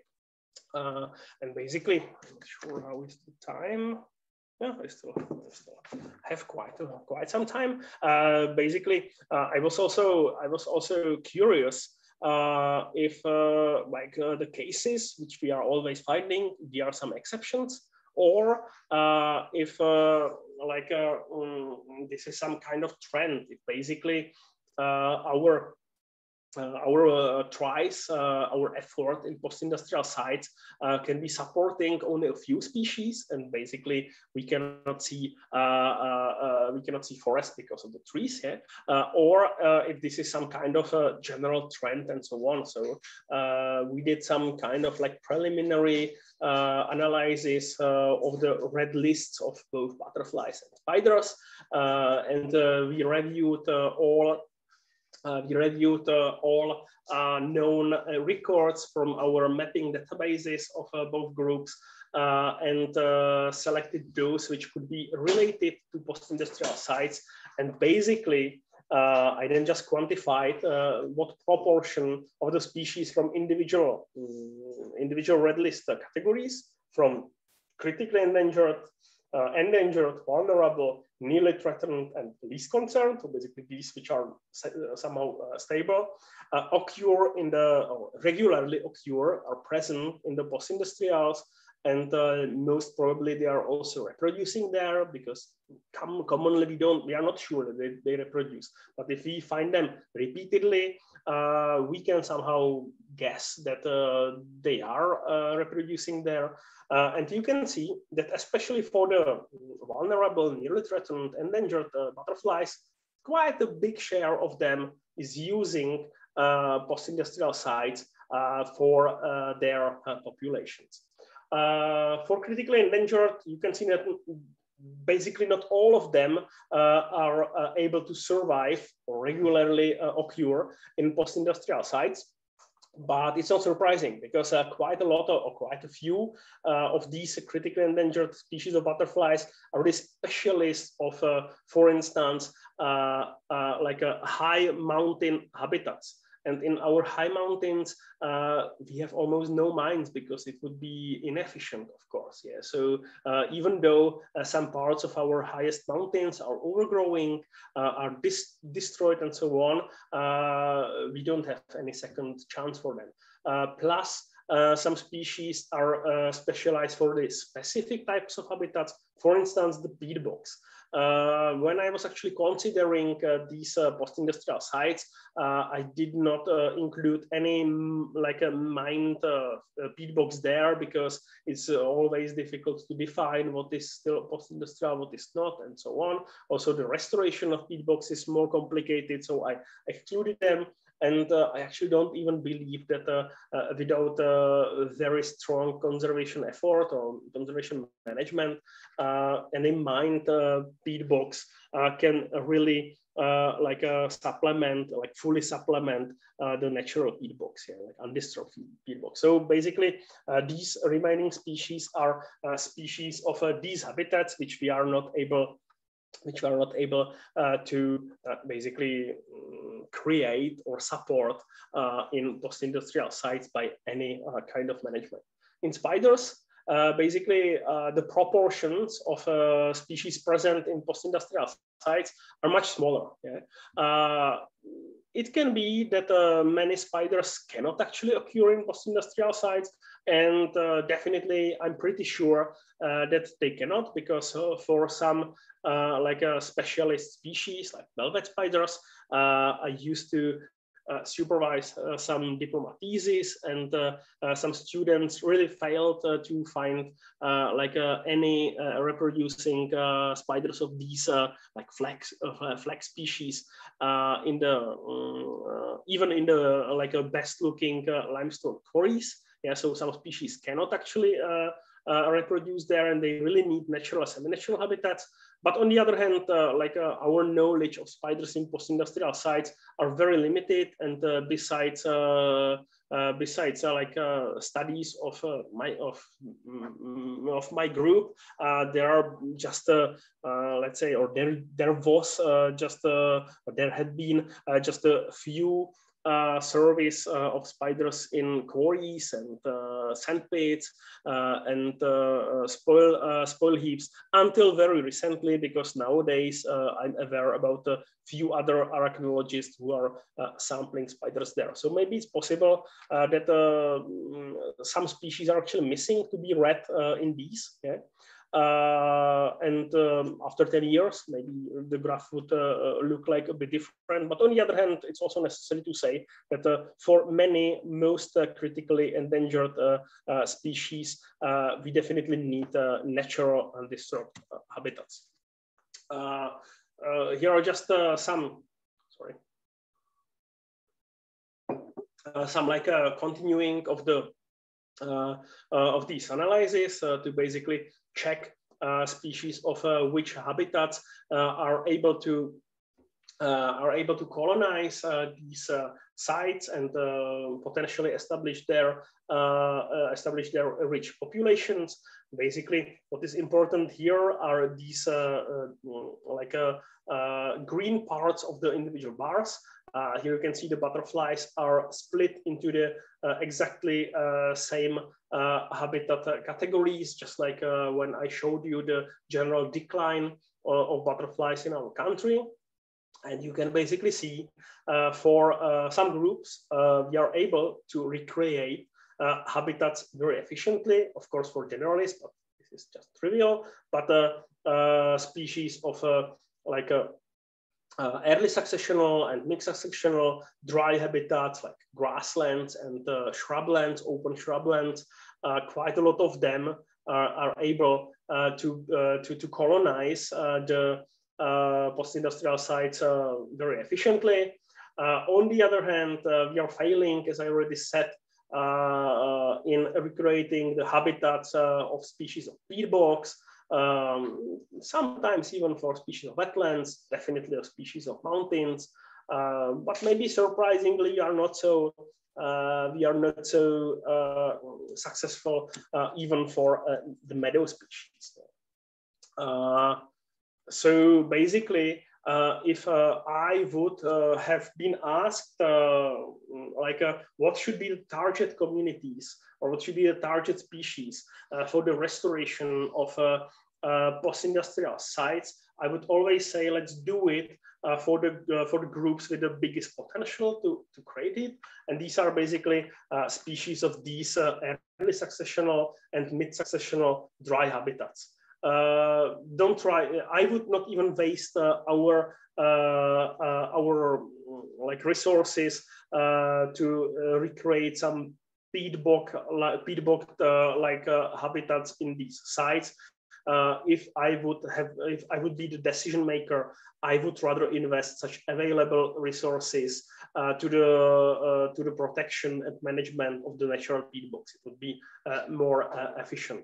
Uh, we are failing also in wetlands in post-industrial sites. It's quite often because there are no like real wetlands. If I don't consider like the pools as the as the wetland but uh, this is useless for butterflies of course. On the other hand uh, they are very uh, efficient they are very precious for dragonflies as i used to uh, as i showed you. And uh, that's it okay?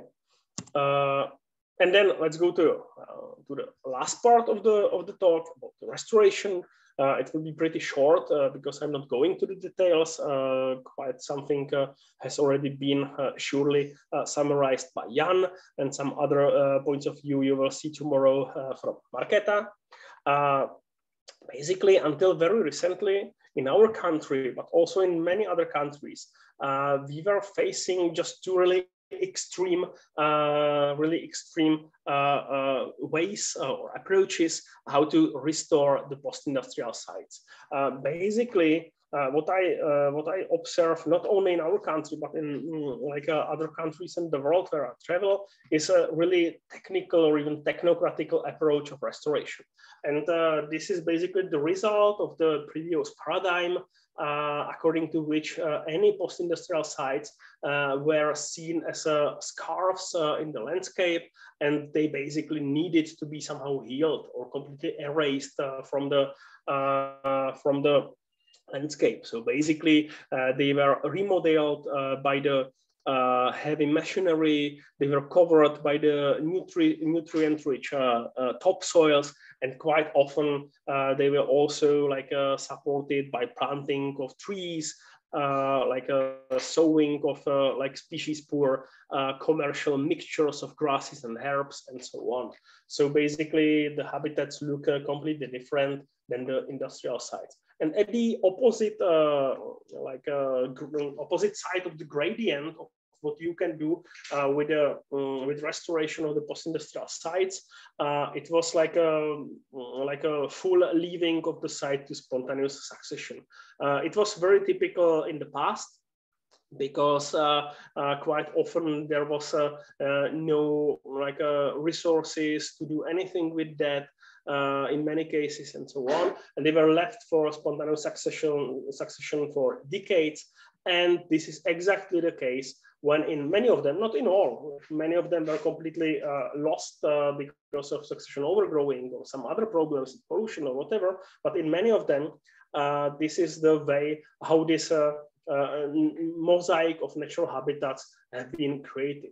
Of course, uh, nowadays uh, we have modern approaches in restoration of these sites, uh, like various ways of ecological uh, restoration, of uh, like uh, assisted restoration and other other ways. And of course, it could be best. But for our comparisons, we were focusing on these two extremes because they are still pretty common in many regions skip this.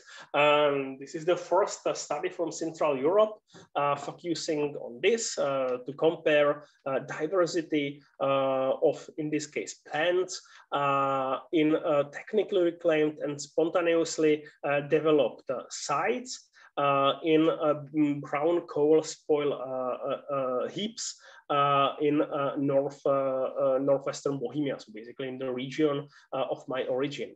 And uh, even if you check it, like uh, this technical reclamation has created uh, some, let's say, boring uh, production meadows, pretty uh, similar to the common ones in the agricultural, intensive uh, agricultural landscape, whilst the spontaneous succession in many cases really created some interesting mosaic of various habitats. But basically, it's not surprising that much higher diversity of plants including some pretty nice orchids actually occurred uh, in these uh, um, sites uh, left to spontaneous succession.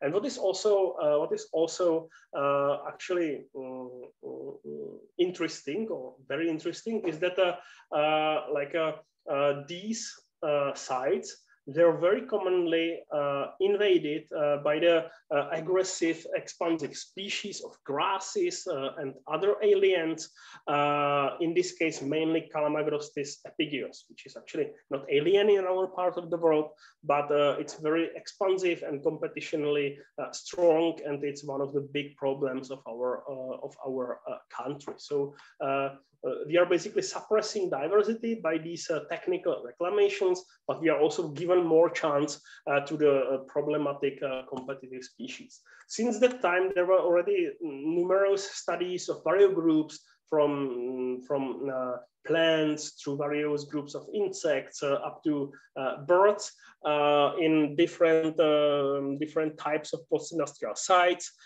so basically, uh, uh, spoil heaps and other spoil heaps like black coal spoil heaps, uh, limestone quarries, fly ash deposits, sand pits, and very consistently technical reclamation uh, is always the best, the, the, sorry, worst, the, the bad solution, which is suppressing diversity and giving chance to aggressive, competitively strong species.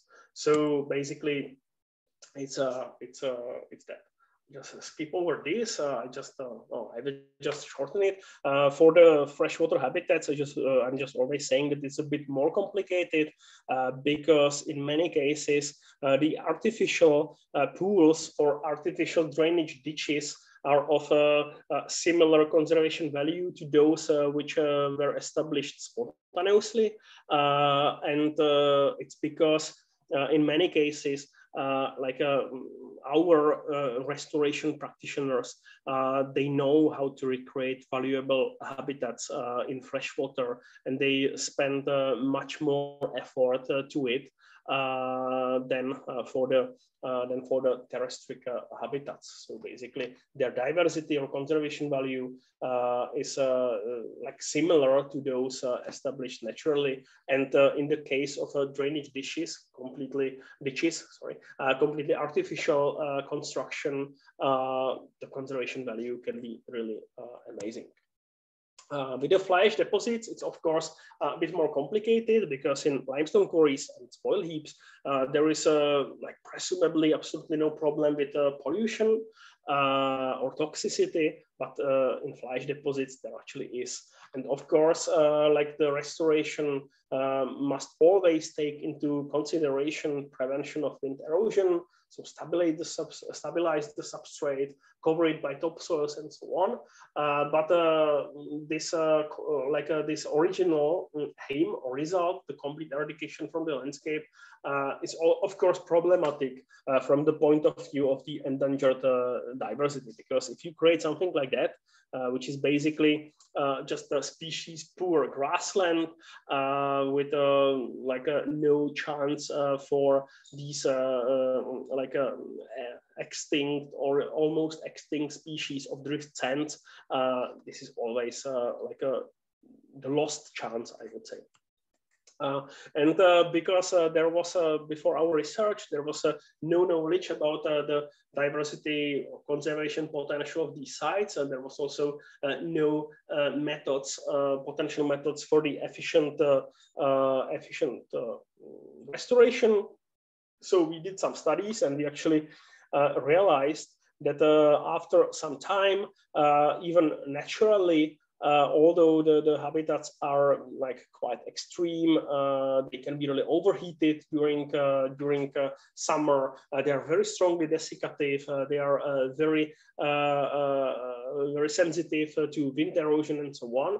They stabilize. Uh, they are partially covered by vegetation. Some of them are even like almost fully covered by by vegetation. And we have actually realized that in on like basically all the cases, these habitats uh, are uh, more uh, species, more conservation valued than if you create their artificial meadow or artificial forest. for different groups, it, it works differently. like bees, for instance, because they are they are nesting in uh, bare ground. They like uh, these either dry or wet uh, bare substrate while spiders, because you know they live more in the 3D world because of their hunting, because of their building of uh, webs and so on, uh, they actually the, the most uh, uh some of the most threatened species uh, they they liked or they, they preferred this already let's say kind of matured successionally matured habitats.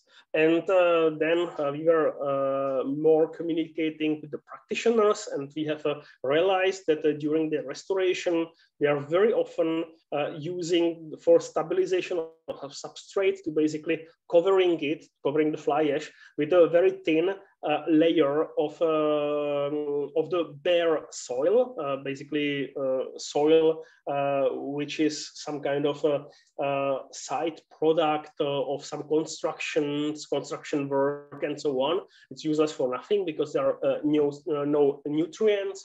Uh, so they are using it for this, uh, they call it preparation for restoration. Uh, and we have actually realized that uh, if you do this, uh, you don't bring too much nutrients to the fly ash deposit. you basically stabilize the substrate. There is almost no erosion.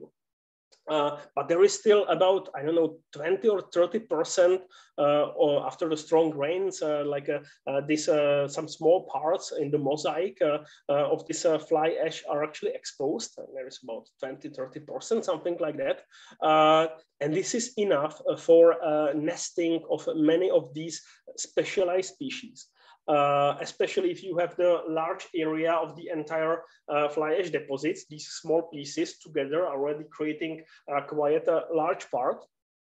And uh, this could be one of the ways to basically uh, decrease dustiness and keep, uh, keep the uh, keep the conservation potential for the most uh, specialized species. This is how it looks like if you uh, bring there like a fertile topsoil, it basically overgrows uh, by many like uh, invasive species or expensive species uh, of uh, grasses and herbs.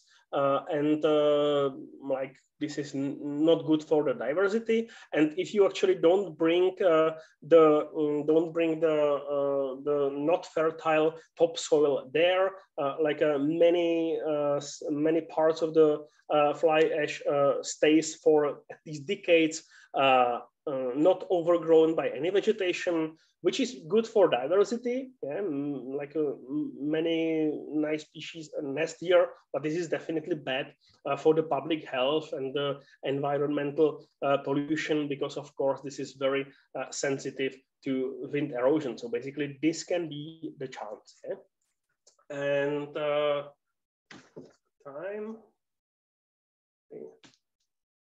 Okay, I will just uh, skip over uh, skip over this because uh, I, I, think I've already said it, or I'm sure I'm already I've already said it.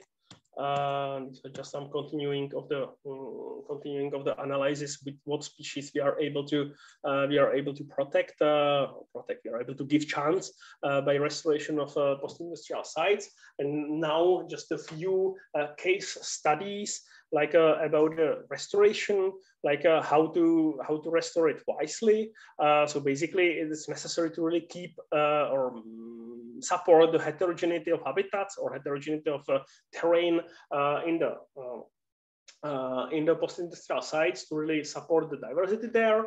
Uh, this is actually a study which uh, we did together with Jan.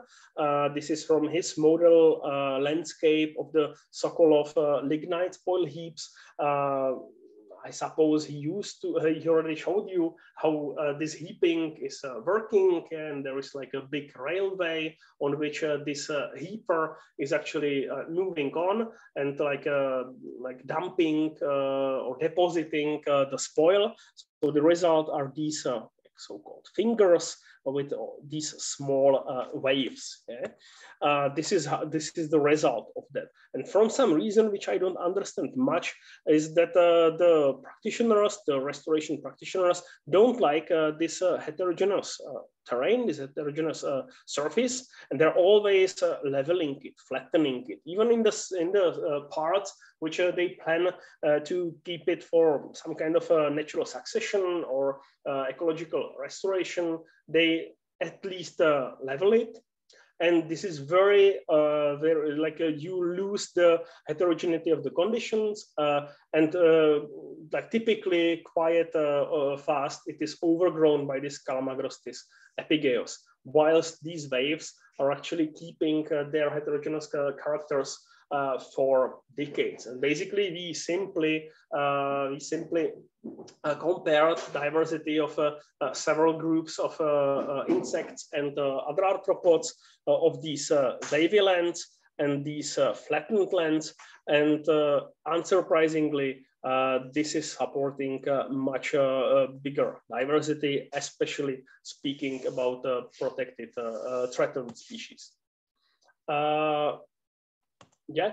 And uh, just uh, speaking about the succession, I have just uh, stated repeatedly that uh, succession, like spontaneous succession and spontaneous uh, natural processes uh, in the restoration can be really beneficial, can be the way how to do it.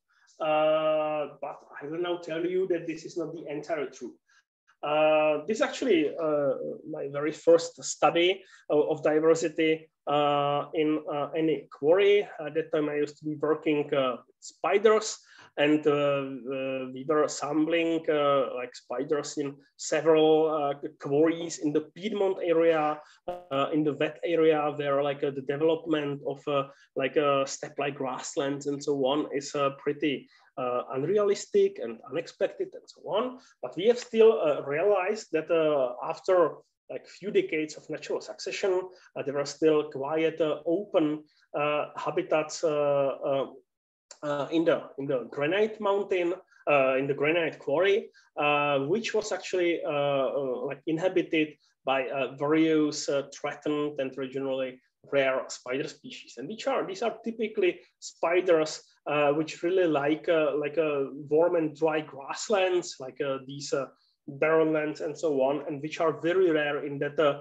uh, relatively cold and relatively uh, wet regions. So this used to be some kind of a like a regional regional hotspot of rare diversity. But I, I was actually resampling this area for several years, like for I think 15 or something like that. Uh, this is just uh, one uh, picture from like the, the half of the study or something like that. Uh, and uh, because of the succession, although on the aerial picture, the changes are not so big, uh, it's necessary to say that the, all the trees and shrubs grew much taller. they started to shade the microhabitats. Also, the litter was much um, thicker and commoner, and it completely changed the microhabitats and basically all these uh, uh, regionally rare spiders and also carabids, carabid beetles uh, disappeared. Yeah, so basically even the nat natural succession is uh, with time leading to some unwanted uh, results and uh, basically it can erase the unique habitats or the kind of secondary precious habitats from the from the sites. How to how to actually um, suppress this? Uh, we can use some additional disturbances. Yeah? Uh, you know, like the entire habitat was basically created by the disturbance.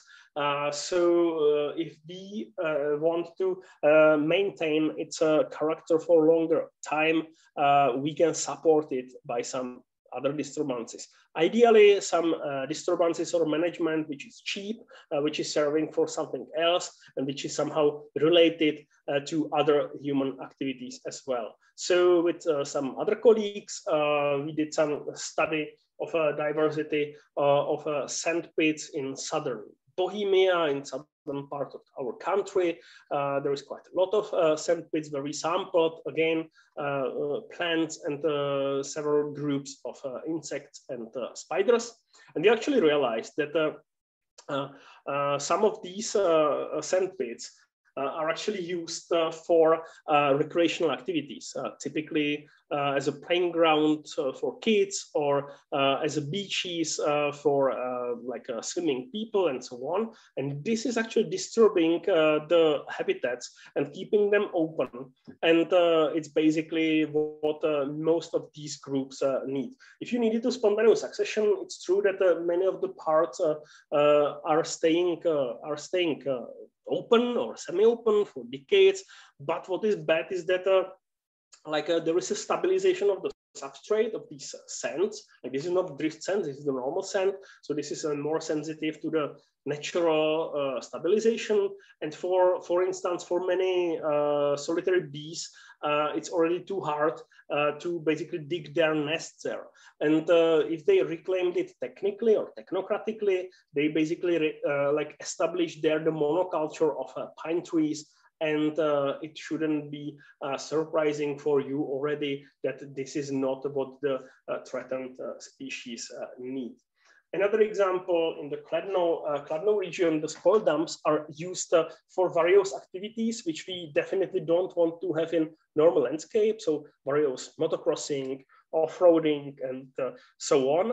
Uh, and we have realized uh, basically this is what uh, what many of these dumps is keeping uh, uh, like uh, the natural, sorry, the, the, open character. Yeah? this is the typical example of the small one. This is one of the smallest. you can see it's completely surrounded by the by the fields. and the only like open and bare uh, surface areas there are definitely maintained by the motocross. And this is uh, the picture from the uh, upper part of the largest spoil dump there in the region. And uh, you can see that the motocross is actually uh, uh, disturbing its surface here as well. And like, especially in this specific particular site, there is some kind of like let's say uh, agreement or some kind of um, consensus in between these uh, motocrossers and the local conservation uh, officers and they are communicating together and they are always saying uh, hey guys uh, you already disturbed this part too much so you should move. uh, a bit just like 20 meters and leave this uh, to be like uh, overgrown a bit again and disturb rather these these already too overgrown parts and so on and this is completely maintaining this completely sufficient to maintain there the habitat mosaic which is hosting the, the high diversity and uh, which is basically for free. Yeah. Uh, plus, uh, it serves uh, uh, as a playground for some people who we definitely don't want to be, for instance, uh, like destroying our nature reserves or whatever. Yeah. And we actually shown that this motocrossing or secondary excavation, because people there, they are like basically excavating some of these spoils to, I don't know, build uh, some parts in their gardens and so on, or this is trampled uh, by like um, tourists or normal people because uh, these uh, dumps, uh, uh, they are like a Kladno region is quite a flatland and uh, these uh, dumps are basically creating uh, some kind of like um, viewpoints and so on. So some of them are very uh, very uh, favorite uh, by normal people. And this trampling, this excavation, this motocross is really supporting threatened butterflies and richness of plants. and the last question can we really ignore post-industrial sites? Can we really ignore uh, their, uh, their uh, conservation potential? I'm coming back to the beginning of my talk. Uh, again, the model landscape of Polabí, this northern part of our country, uh, like uh, these drifts and dunes along the Elbe River. Now I can send, I can finally tell you that besides these yellow dots, there are also the red dots. I didn't mention them on purpose before uh, because you that time you still didn't know what the fly ash deposits are. Now I can tell you that these are the four large uh, fly ash deposits in the area. And we basically quantified uh, or measured, yeah, the um, like uh, the area of these uh, remnants of drift sand dunes. This is the largest of them, and this is how typically uh, they look like. So you can see this is really like a uh, this is smaller than like typical lecture room or mm, like smaller than uh, like playground uh, for kids or something like that. And uh, we quantified the the area of the bare substrate and the area uh, of the uh, sparse uh, grasslands on both sand dunes and fly ash deposits. And here you can see the result. Yeah, like um, if you quantify the area of the sand dunes, we are somewhere about two hectares in the entire uh, area where the sand uh, uh, dunes used to be very common. Whilst if you consider fly ashes, uh, like uh, of course like something like uh, 85 hectares is not the best but it's many many times more uh, than these natural habitats. And as i said uh, our idea is basically that uh, at this moment the fly ash deposits would serve as some kind of refugees of these noah's arks and once our society will be like let's say mature enough to like uh, restore these natural habitats in the sand dunes, we have some chance that a part of the diversity will survive in these uh, in these uh, secondary habitats. And that's all from me. Uh, if you have any questions, just ask me now or write me an email later. Uh, you can also check uh, the, um, the web page of our insect community research group. I must admit this is not so up to date. There are not uh, everything, but you can download uh, these uh, like uh, popular books about uh, uh, about conservation potential of post-industrial sites and their restoration. And one of them is even fully in English, so you can go there. So that's all. whoever has any question, just don't hesitate to ask.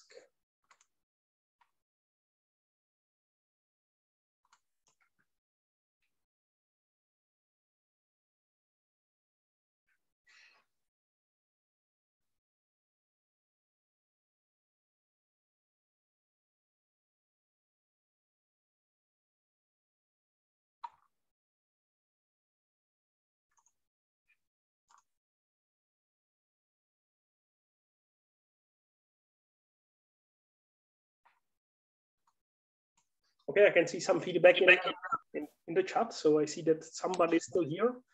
Uh,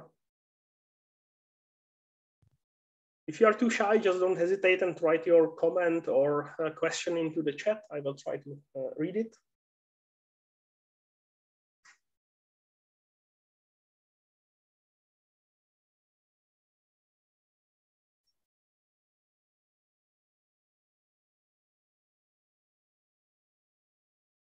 Okay, so I hope that uh, uh, I didn't bore you or something like that. I just suppose that uh, you are uh, already exhausted after the uh, several days of the summer school. So maybe you don't want to discuss it now. But as I said, feel free to send me any question by email. Uh, I'm happy to discuss it later.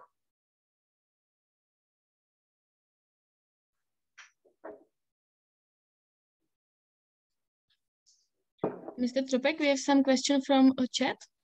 Uh, the construction of refuges with stones will promote invertebrate uh, diversity from Mr. Ms. Uh, Sarah Palace. Uh, I'm not sure I understand well. Uh, like uh, basically, like stones as a stones, like big boulders or something like that. some of them can be really used by some solitary bees for uh, nesting uh, and so on. Uh, but generally, it's like stones are important to have in quarries and in natural habitats and so on. But I don't think that these are really the most important thing, yeah? like really the, uh, the, the, the, the screes or gravel beds or uh, sand uh, or like sparse grasslands are most um, are more important for many invertebrates.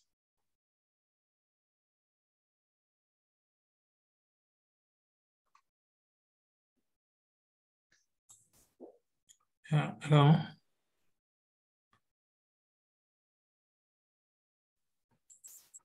Yes, we can hear you.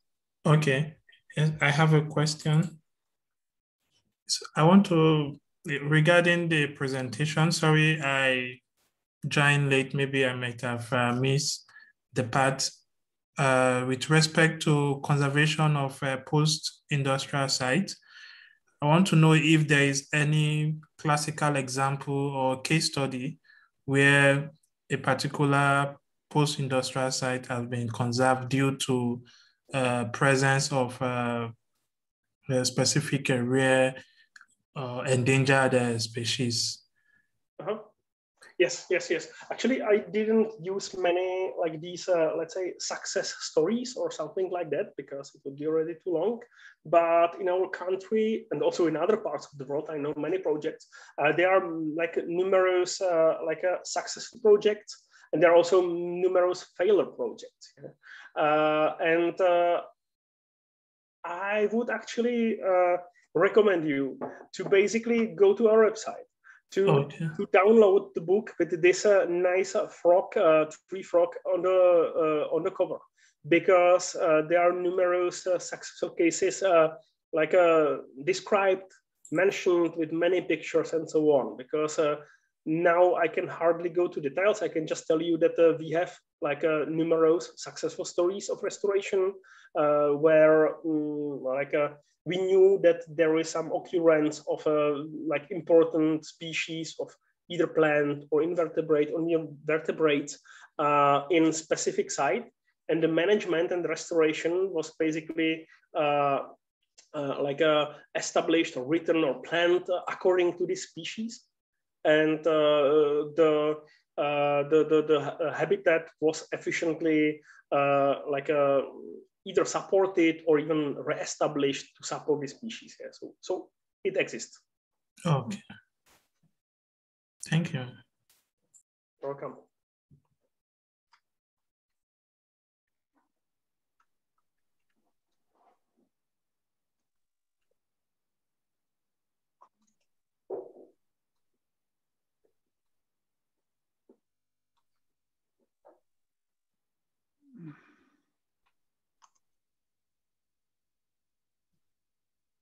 Okay, so it seems that there is no more questions. As I say, don't hesitate to write me an email or like, uh, contact me some otherwise.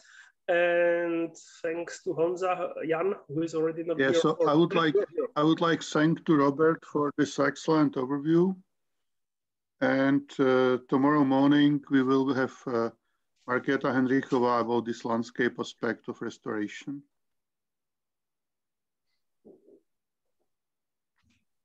Thank you for listening to me and bye-bye. Thank you. Thank you very much. Bye-bye. Thank you. Thank you.